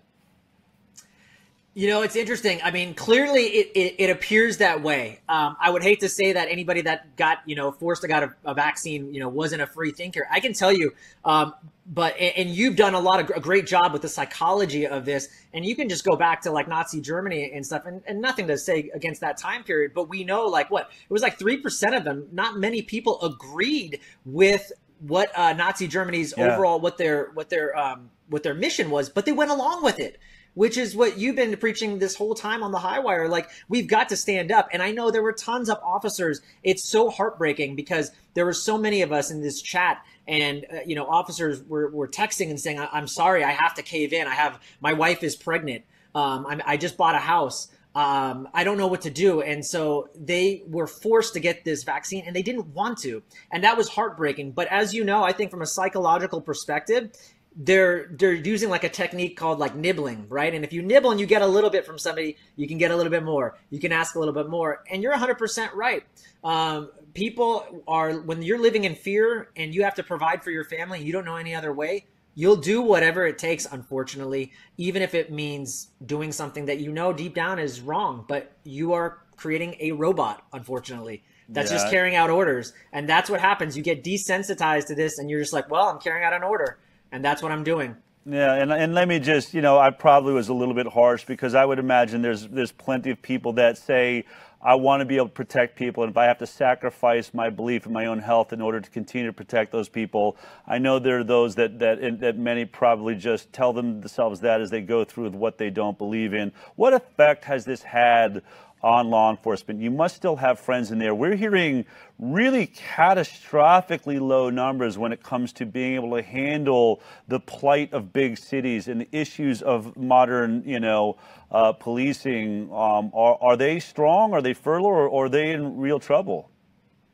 They're they are they are devastated. I've been in contact with a lot of you know good friends and, and officers in the last week and um, you know their their morale is at an all time low, and and morale is comes and goes, so that is what it is. But um, yeah, crime is soaring. I mean, you've got a malicious district attorney that is out like actively like looking to prosecute cute cops and and not criminals. Um, and so I can say also for this, you know, we know the media spins things all the time and they are completely lying when it comes to the staffing numbers at SFPD. They are at the, their all-time low. I mean, for when I went to SFPD in 2013, I transferred from another department. It was booming. We were running five academies at once, which is a lot in a year. If anybody knows about being in the training division, five academies, 50 students at one time. They can't even get like 20 students, and you have to remember. Um, 50% of students usually uh, fail the academy. It's just, mm. it's, it's a challenging nine months academy. And so yeah. you're left with like 10 that actually make it to the street and then another five that might not pass field training. So, uh, officers are being called in for one of the first times in history. I'm sure it's been done before, but they're being called in on their days off. They're being forced mandatory. We've never seen that uh, in the history of SFPD. People are leaving in droves and they that was one of the most sought after departments. When I first got into the SFPD, they said, "People, you will, you might leave this department, but they always come back." and they were right at that time because it was just a great place to to work in a fun fun fun environment. But that's not the case uh, anymore. What does this do to the personal lives? What happens to your life since you stood for what was right? Um, you stood for your health. Your health matters if you're going to try and protect the rest of us. How did this affect your life? My life, like many others, uh, it got turned upside down. I'm not gonna, I'm not gonna lie and say I, am the kind of person. I want to just say that I'm, a, I'm the kind of person who is the glass is always half full, and that's the way I think. So I'm never gonna let this negativity or what they're doing to me um, hurt hurt me. And and I'll tell you, when during this time, I mean, I was living in fear, just like everybody else. What am I gonna do? Should I should I you know forge a fake vax card so I can keep my job? But deep down, Del, I knew that wasn't right and it didn't align with who I say I am, my higher self, the highest version, my true self, and what I align with. And I said, absolutely not. And I want to be that force for other officers to stand tall and and be there so that light so that they can lean on that. We need to build that momentum. Mm. And I will say this, you know, I, I had to do some soul searching, and um, I remember when I in this time I, I asked myself, man, what, what what's the worst that could happen to me? What what am I scared of? What's what is Joel really scared of? I'm scared that I'm going to lose my house. I'm scared that I'm going to lose all my money. And at the end of the day, I got a smile came on my face because you you know what? I realized they can't take my integrity, they can't take my soul, and they can't take my happiness or my health. I can, I know how to make money, and I can always make money again, and I'll figure out a way. And that was invigorating, and that brought me back to life, and that's what I try to instill in other officers. But I will say this: just like me and many others, we were we were forced to move. I mean, I was a San Francisco resident for the last ten years. My wife is a born and raised. And if you know anybody in San Francisco, there's a lot of pride that comes with being born yeah. and raised in San Francisco. They will tell you that they're born and raised in San Francisco. You will find out within the first minute that they were from the city. And uh, you know, she we live two houses down from my mother-in-law and my sister-in-law and our, and my my my boys. They're eight and four. They have two cousins that they would see every day mm. and we had to leave the, we had to leave the city you know that we lived there for the last 10 years and like i said my wife was born and raised there so she lived there even longer um, and many families, I'm not the only one. Many yeah. of the 40 SFPD officers that you know about have had to move to various states like Texas, South Dakota, um, to to escape because they've been forced out, and it's been it's been really really sad. What are you doing now? What did, what did you do? What did, so how did you bounce back? What is what are you up to now? Yeah, so you know, um, I, I leaned into something that I've been working on over the last six years, and that's health and health coaching. And, uh, you know, I, I've been studying under naturopaths for the last six years, really because my mother got sick. She had breast cancer, and my mother in law had thyroid issues. And it made me sick to my stomach that I couldn't figure these issues out, being a pretty healthy person. And so I went on this journey studying under various naturopaths for the last six years. And um, I finally launched my coaching business because I oh, thought, oh, cool. this is the perfect time.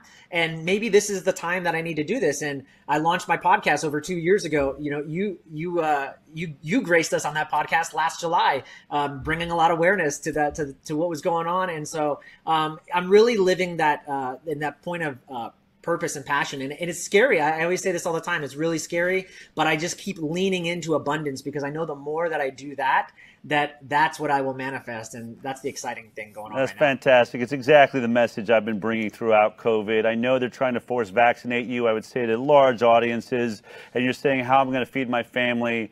And I said, you know, you're worried about your job, but most of you hate your job. In your case, that's not the case. But I said, there's some dream you have, there's something you want to be doing. Now's that time. Instead of sacrificing what you believe in, sacrifice your body, live into your dream. I think that that's what's going to be born out of this, this incredibly horrific, stupid time we've been through is, I think, you know, a better world ahead. Just lastly, as we're preparing for this rally in Los Angeles and the idea of tens of thousands of people people. And by the way, you know very well the, the hoops we had to jump through to get the sheriffs to allow this permit, to get the police officers. And one of the things that was really, I think, fortunate for us is how many of them believed in our message, recognized that we are out there standing for their right to choose what, what they're going to enforce, to not be forced to, you know, bring enforcement on COVID masks and things that they don't believe in. So many of the sheriffs standing up for freedom of choice and, and our Constitution around this country. Um, so I think there was a benefit there. But when you think about all those people standing out there, what does that mean to the police officers across the country and the healthcare workers and those that are working? Do you think it makes a difference for us standing together like that?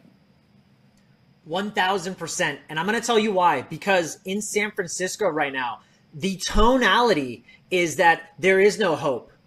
That that this is just the way it's going to be. And I can tell you, you know, I frequented Idaho over the last 2 years and every time I would I'm literally just an hour flight away. And you know it's a completely different vibe. Uh, people are walking around like there is no covid. So I, I, think what people need to realize is that there is and i like to talk about this idea of oneness and that we're all connected. And we don't realize it. We feel like we're alone but we're not. And events like this bring us back together and make us realize we are all connected and that we all really want the same thing and that there's a big group of us. And we get to you know there's camaraderie in that. And i'll just say this Del we didn't talk about this but you know the sfpd april 15th mandated the booster. And then guess what?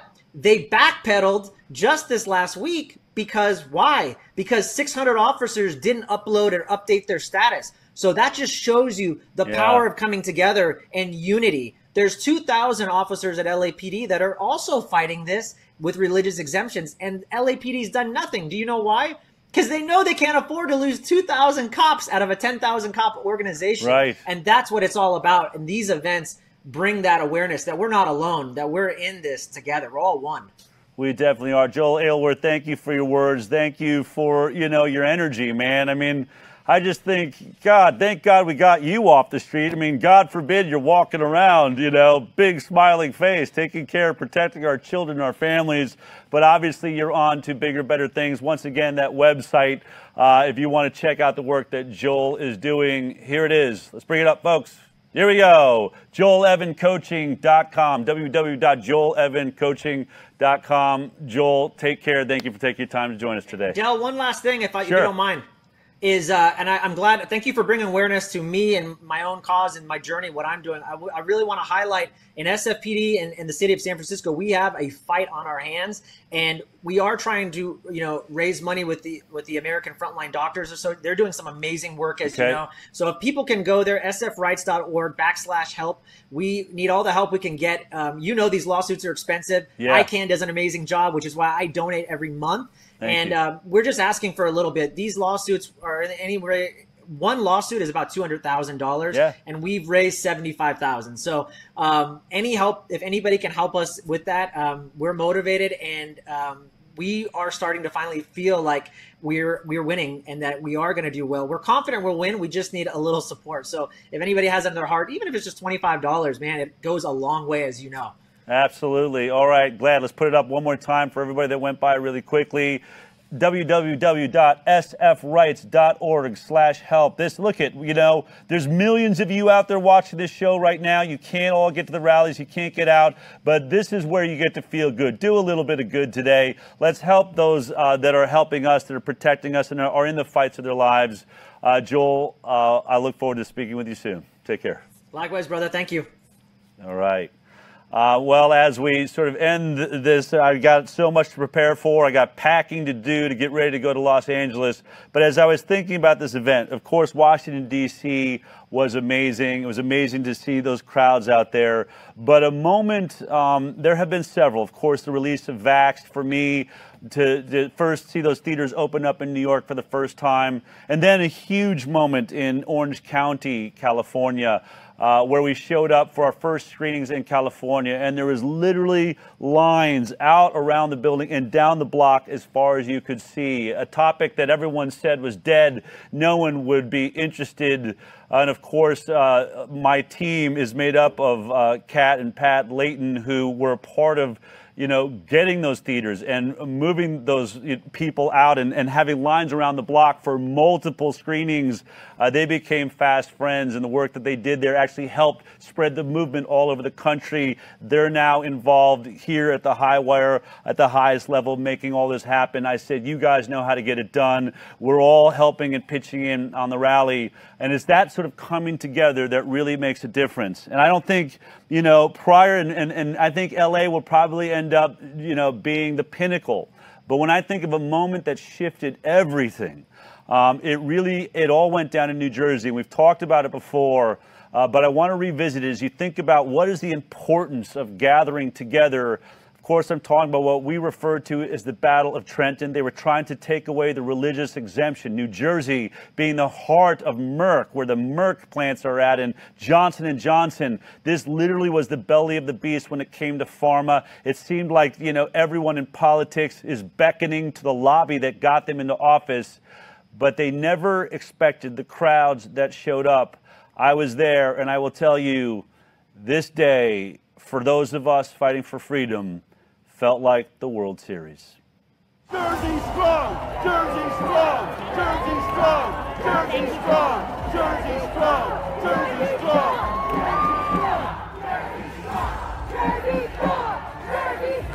We're at the HighWire. We're live in Trenton, New Jersey. You guys hear me back there? The head of the police force here said in 20 years, I have never seen this many people show up for any issue there has ever been. Every single one of you is a leader, and every one of you is my hero. Thank you for being here. You are setting a tone like no other I have seen in the history of my whole entire political career. There is an important battle going on today. They want to attack your religious liberties. They want to attack your parental rights, and they want to put chemicals inside your bodies without your consent, and we need to stop that. This is such an important moment. This is not just a fight in New Jersey. Today you are fighting for the entire United States of America. You have to know that whether they vote yes or whether they vote no, the science is crumbling down around them. And God help them God help them if they're the last politicians that ever signed their name to a document to enforce a product where all around the world the science is crumbling around them. We will stand together and we're going to win this fight.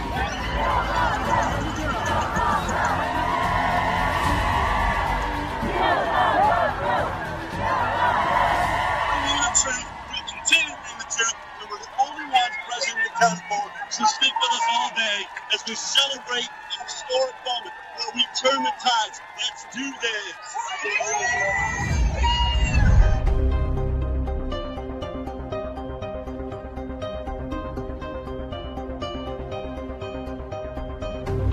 Our Father, who art in heaven, hallowed be thy name. Thy kingdom come, thy will be done, on earth as it is in heaven. For those that don't know me, I'm Senator Mike Testa. What is the big rush about this issue? If this were truly about an issue of public health, why would they allow anyone or any private entity to be exempt? Are we going to say that only the affluent, only the rich can opt out of the vaccine program and oh! leave, leave African Americans and Latinos and everyone else hanging the balance even though they've read the same science, even though they want the same healthy kids? We love our children. We love the future. We will not give in. I want to just tell each and every one of you what a privilege it is to serve in this great state where this many people took their concerns directly to the State House. We know that what's going to happen inside this building is it's going to get ugly and they're going to do every single thing, every dirty trick they can to turn this around. We need you guys to stay with us.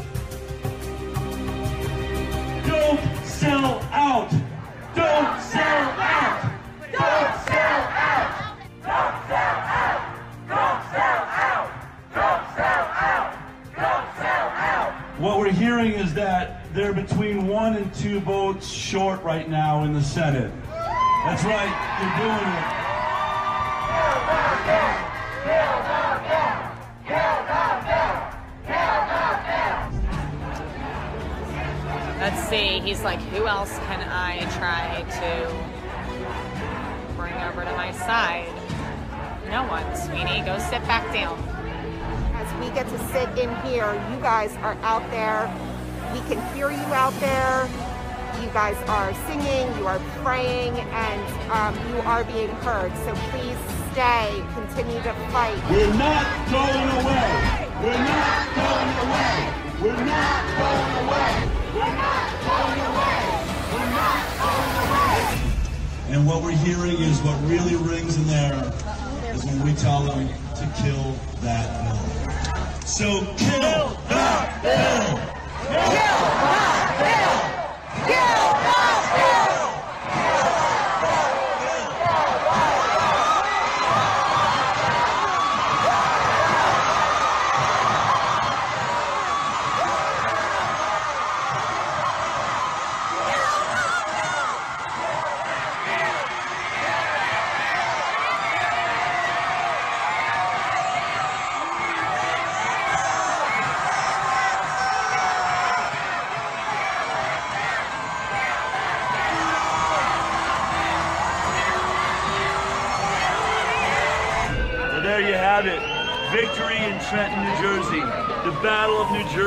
Trenton has been won once again.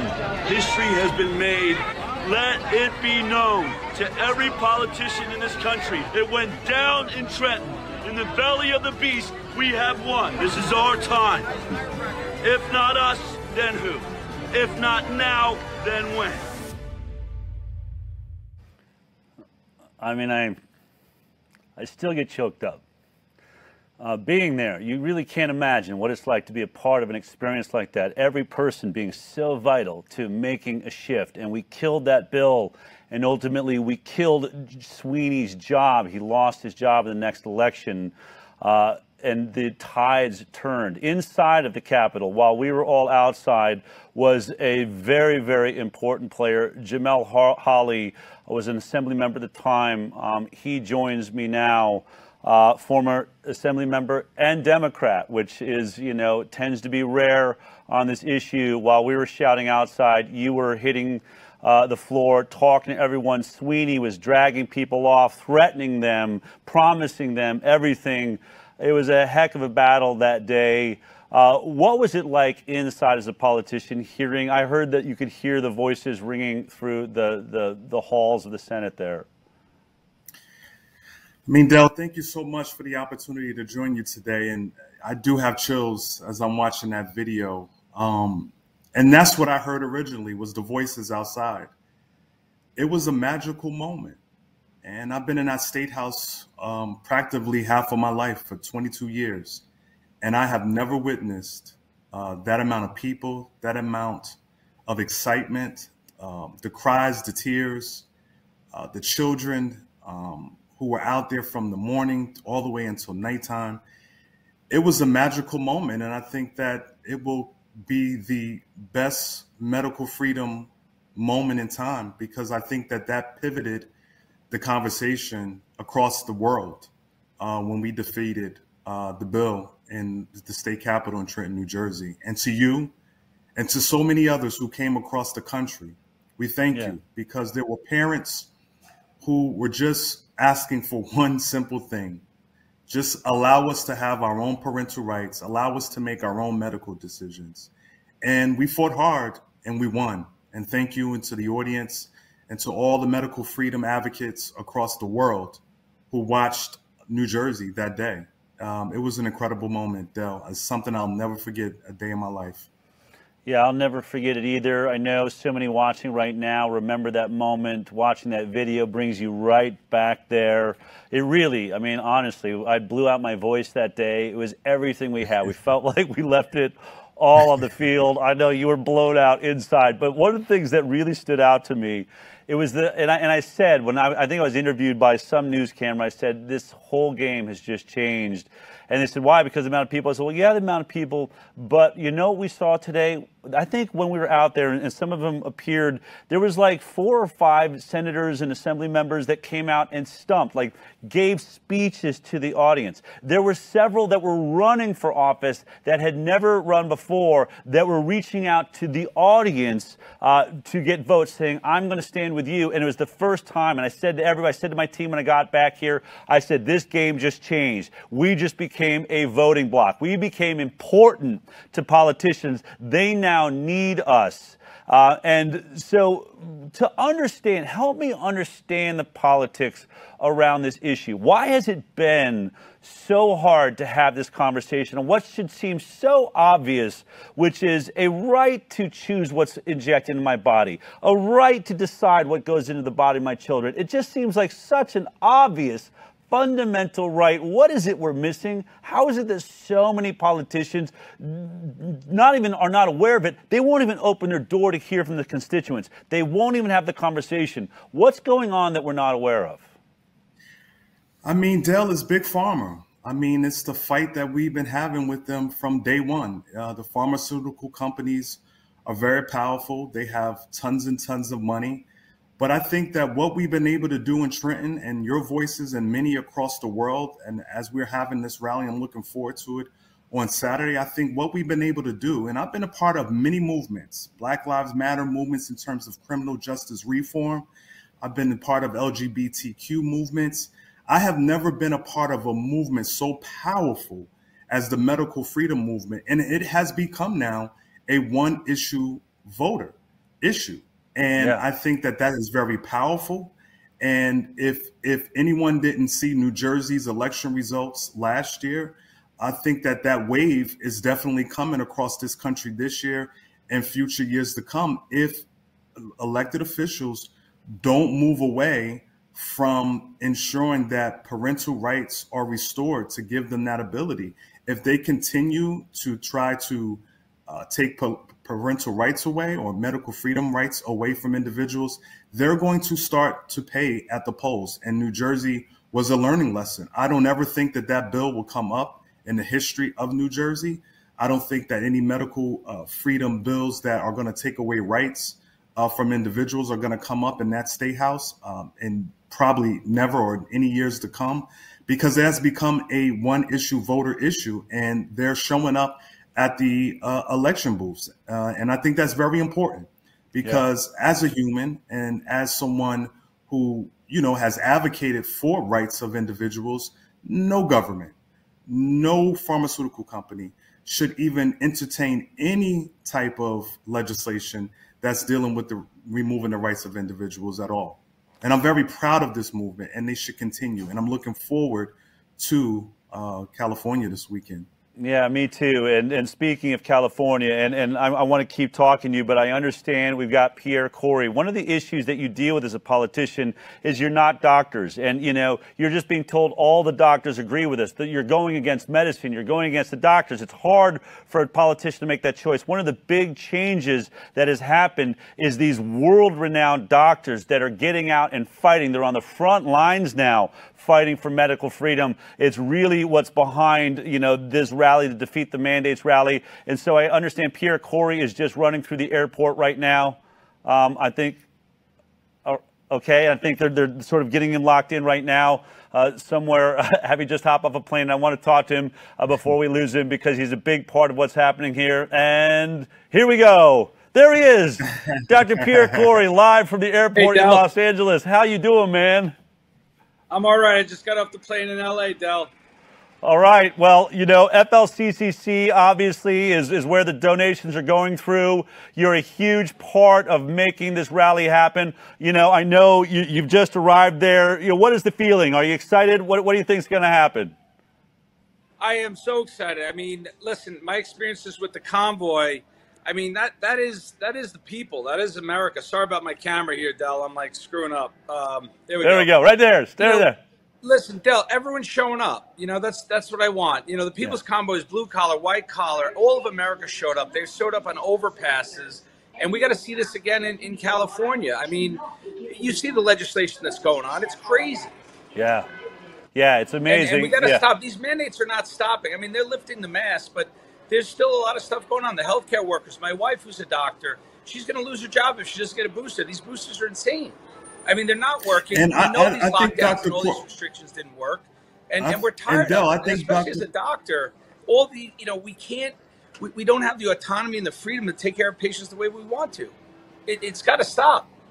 Absolutely. When you think of the, you know, go ahead, Jamel. You want to jump in there and talk about what what? Yeah, what I, what I was saying, I think Dr. Kory is right, and I mean, I think we need to pay attention to California because that's where it originally started, right? When when these bills of these mandates and these medical uh, and, and religious exemptions uh, bill started. It happened in California. Then it went to to New York, then Connecticut, and all these Democratic legislatures. And I was a Democrat at every state, talking to my Democratic colleagues about how we need to stay away from these particular mandates. So Dr. Kory is spot on. We need to pay attention to California, and that's going to be my message on Saturday. Del is one, thank all the advocates, right? Yeah. Because we've been through uh, a tough time over the last few years, but we need to re up and re energize for a new fight coming on hand because it all starts in California and it just spreads throughout these legislatures throughout the country. Great point. Dr. Pierre Kory, I know I've only got you for a couple more seconds. You're there. I know I'm going to see you on Sunday. You have a big event coming up tonight, though, that people can check out. Just tell me about what's going on tonight. Yeah, I'm going to be on the uh, Vaccine Safety Research Foundation call, uh, talking about you know my practice, my my what I've learned, and how I treat the post-vaccine injured, and uh, and what a calamity is. I mean, it's an epidemic of it. I mean, COVID cases may be down, but we're still left with just this this you know this remaining huge part of society that are still suffering debilitated whether it be from long haul and post vaccine and no one's addressing it. It's not really a thing. It's not being described. It's not being published in journals. And you know all of us out here trying to help these patients we're doing the best we can All right, so that's at backsafety.org. You can check that out tonight. Tune in. These are the best in the world, folks. I mean, this is what, for many of us that have been in this fight for so many years, you know, back when we were in Trenton, we were all alone. Dr. Pierre Kory, you've brought a whole other, you know, conversation to this. Uh, true science, true medicine, standing in, you know, uh, the scientific method. Of course, Dr. Malone's joining us uh, in California and a whole host of other uh, brilliant scientists and doctors. Before you sign off, just a last thought to anyone that maybe is sitting on the fence whether or not they should be in Los Angeles. I don't know why anybody would be questioning that now, but what do you want to say uh, to our audience out there? I mean, just remember what America is about. We're about freedom and independence and autonomy, and and we're individualism. And we, you know, we're in a, we're in a society right now that's overrun with mandates from every strata of society, from the individual to the children. They're going after the children with the vaccines. They're restricting doctors. They're coercing people to do things to keep their jobs and employment. I mean, this is a really important time in history. And if there's ever a time to to rise up against what really is medical tyranny and for health freedom, now is the time. So please show up. I mean, we got to do something. I mean, we can't just let this keep going without without pushing back. The people have Uh, to speak. Amen. Uh, and you have uh, been speaking a true hero. Uh, uh, and uh, and really putting it all on the line and know what it means to be a doctor standing in there, attacks on people's licenses. We get to hear you speak. Most of us on Sunday tonight. If you want to check them out at backsafety.org, definitely check out that Zoom discussion. Uh, Pierre, I'm on my way to LA. I'm looking forward to it. I think it's going to be lit up, man. I think this is going to be huge. All right, travel safely. I'll talk to you soon. Thanks, Del. See you soon. Bye. I mean, how important is that, Jamel, as a politician, that there are now world renowned scientists? These are not just, you know, some fringe guys, guys like Dr. Robert Malone, that are walking into politicians' offices and talking about the science, uh, and they're empowered to do so. Um, what kind of difference is that making to this conversation as you feel the pulse, especially as a Democrat, right? I mean, I, I'm politically marooned. I was a lifelong Democrat. Robert Kennedy Jr., the three of us get together, scratching our heads. How is it that environmentalists don't understand that you are contaminating the rivers of your body? Uh, you know, when we think about uh, toxins, you know, what's happened to this conversation as you start to talk to politicians around the country? I think it's opened up a lot. You know, when you had the big lobby like pharmaceutical, they bring their doctors. But now the medical freedom movement has now brought our doctors. And so I think that that has made a tremendous amount of good, um, a good push for us uh, in terms of getting our messages out. And I think more, more elected officials are listening. They'll, they have to because elections are being lost. And the one thing that an elected official cares about is whether or not they're going to get elected at the next election. And so, because of this issue, as I mentioned to you earlier, the medical freedom movement has placed itself as a one issue voter issue. And the doctors have been very helpful. And the more and more that can have the courage to come out uh, would be great all over the country if we can, uh, because they need to continue to get into the ears of these elected officials. And it's working. Let me tell you, it's it's definitely working. As unfortunately, as a Democrat, we've lost members uh, on the Democratic side in, in the assembly. It's very sad to me to see some of my colleagues who I work very closely with over the years. But if you don't pay attention and you don't listen to those voices that are outside that state houses, they're going to find themselves outside of the state house. And that's exactly it. Just lastly, as we think about, you know, I, I think it was roughly 5,000 people in Trenton, which was huge. It's one of the biggest rallies we've been at. We're expecting tens of thousands uh, to be there in California. Uh, when you think about the legislators in California and really around the country, as you said, I think they were walking blindly. They didn't. They didn't realize this was a, a, big enough issue, or that was something to focus on. What does all of us standing together in that moment? What does that say to politicians? What effect does it have? Because I think sometimes we feel so powerless, and who can I vote for? And does my vote matter? But standing in front of the world, that makes a difference, don't you think? It does. I do. I do think it makes a difference, and it's going to cause a red flag, and that's a good red flag um, because they need to pay attention and they need uh, to listen. And as I mentioned to you before, Del, all they care about is the next election. Yeah. And so the more and more uh, individuals that we can get out there, they hear you and it's working. And I encourage anyone who's listening or on the fence of coming out or who wants to continue to get involved, please get involved with Del and ICAN and the HighWire and so many of the medical freedom movements in each state. We're, we're in every state, Del. This yep. has spread throughout the country, and I'm very proud of, of this movement. But do not feel powerless. Uh, do not feel like your voices are not being heard, because not only did we stand up uh, for our medical uh, choices, we've now uh, organized throughout the country, and we're changing elections Del.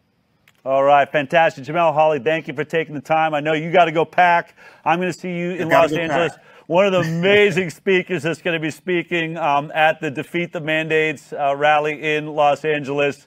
Uh, so glad to have you on our team. It's amazing to think back in the days when no politician would talk to us, and now you're here. You're going to stand on stages. There'll be other politicians there uh, standing up, people that are getting in. And by the way, folks, you know, get into politics. One of the ways we shift this, and you know, you can all we can all sit there and bitch and moan about how it's a swamp out there. Well, the way you clean that swamp is you get involved. You got to you know start joining your school board, start you know running for senates and assembly members.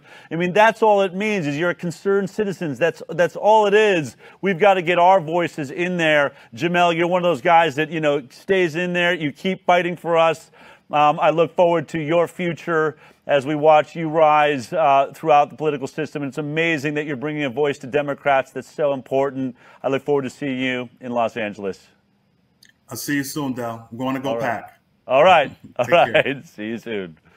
It's going to be amazing, you guys. Um, lastly, as I sort of close up this show, there's a video when you talk about the politics. And, and for those of you who've been at this for a long time, some of you are brand new. Welcome. We're glad you're here. I get it. COVID was such a disaster. You didn't see all the disasters before. You didn't see all the vaccine injury. This is a brand new world to you. But for those of us that have been here for a while and all of the, you know, basically eyes rolled back in their head politicians, this video just shows you how far we've come. It also is a very powerful discussion about how dangerous, eh, you know, in, in, what a precarious position the United States of America now finds itself in. The types of views and moral compasses of those that are supposedly leading us, the things that they're questioning. Just listen to this conversation that happened. This video is going viral for a reason. Let's just summarize this for the folks back home. We've got a bill here, as Chairman Nadler says, that's going to set up more bureaucracy to go after domestic terrorism, and that, that's probably a good thing. And Mr. Biggs has offered an amendment that says you can't use the funds that are going to be authorized in this bill to investigate, analyze, monitor, or prosecute any individual who's declined the COVID vaccine or expressed opposition to it. This should be, this is constitutionally redundant, this amendment. It is obvious on its face. And but it's not been kicked out by the chairman or anybody else here for being non-germane because it is germane.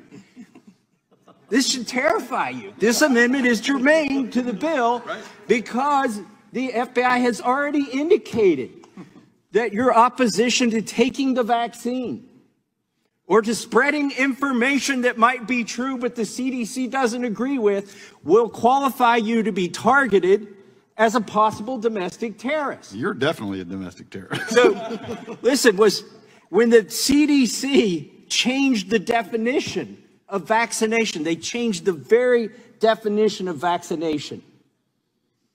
If somebody had the gall to point out that that goes against 250 years of medicine, of science, the redefinition of vaccination, should that make them a domestic terrorist? No. This, this amendment is spot on.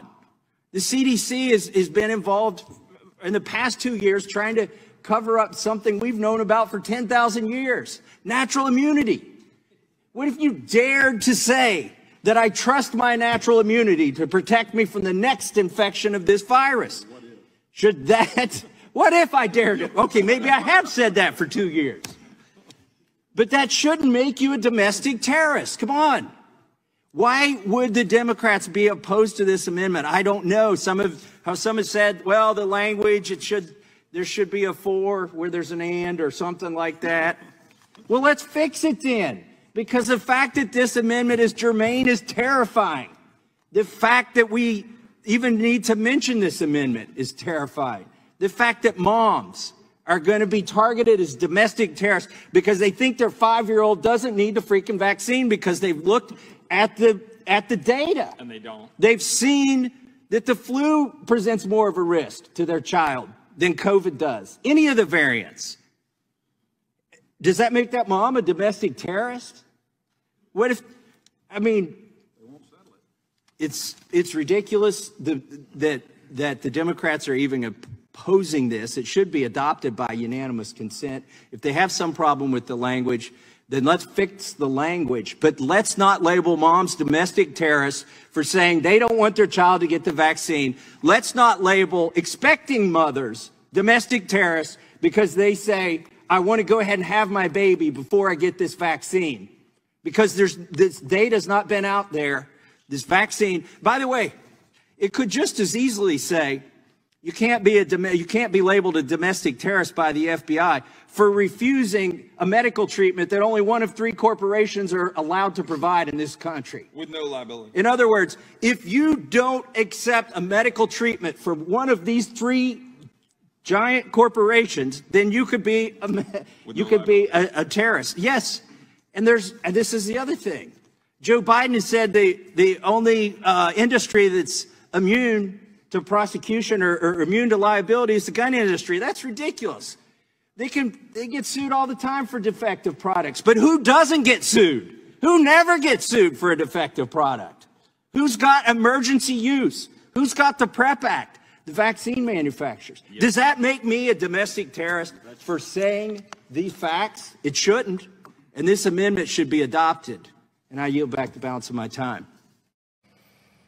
I mean, it is so astounding the shift that has happened in this country and around the world. And for those of you that have been watching the HighWire and sharing the HighWire, that have been at all the rallies that I've been at, my brothers and sisters out there, so many of you, we see each other over and over again give yourself a pat on the back for what we have achieved here. We have moved the needle. We have moved this giant freighter. It is now turning. We've got the tugboats pushing in the right direction. We found the soft spot. This thing is moving. It's not over, but that's only the fun. The fun is now the fact that we've got the momentum. We're moving faster and faster and more powerfully, and there's nothing they can do about it. Now, politicians are stumping for us. I have a feeling some of these guys are watching watching and, and women are watching the HighWire at home. What a powerful testimony there. But listen to what he's saying. The fact that we're even debating whether we should have an amendment that says the FBI is not allowed to investigate a mother that is simply speaking out that she doesn't want the vaccine or that as a pregnant woman, she doesn't want it before she's pregnant. It is horrifying.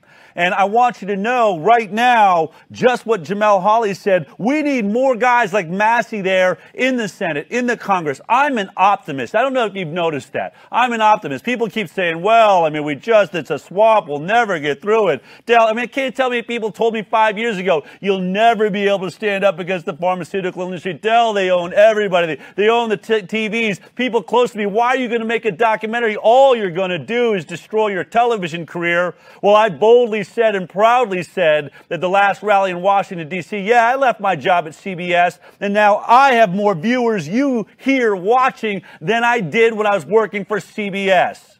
So we are making a change. It is not a time to sit around and de- be depressed and sulk. Or if you remember the Sky News executive last week that said, We're looking to America. You're our only chance. You're the beacon of light and hope. If America goes down, we all go down. Do you feel that in your veins? Do you feel how important we are right now? Go ahead and push away any sadness or frustration you have. We are winning this. This is our time. We are Americans. We are a part of the world. We are standing for our brothers and sisters, and we're going to do it powerfully this Sunday, the Defeat the Mandates rally. I'm going to be joined by amazing musical guests. Dickie Barrett's there, Jimmy Levy and Hi-Rez, Five Times August, Grant Elman, Joseph Arthur, and Sonic Universe. We're all coming together politicians, celebrities, athletes, doctors, scientists, every race, religion, and creed, every age, children, mothers, grandparents, standing together for the most important thing there is freedom.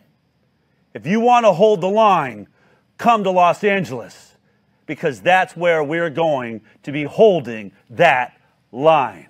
I'll see you there. Hold the line. Hold the line. Won't let them steal our sovereignty with their lies.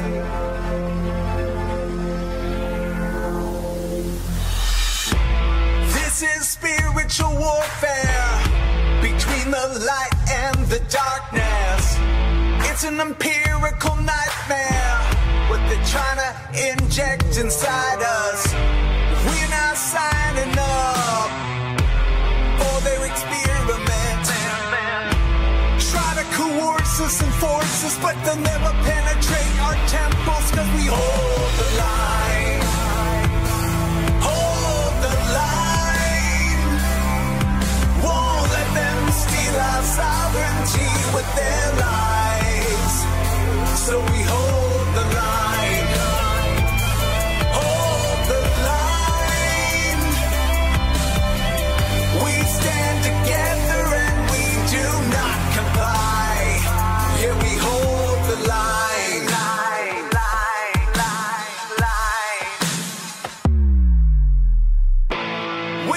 Doctors and nurses.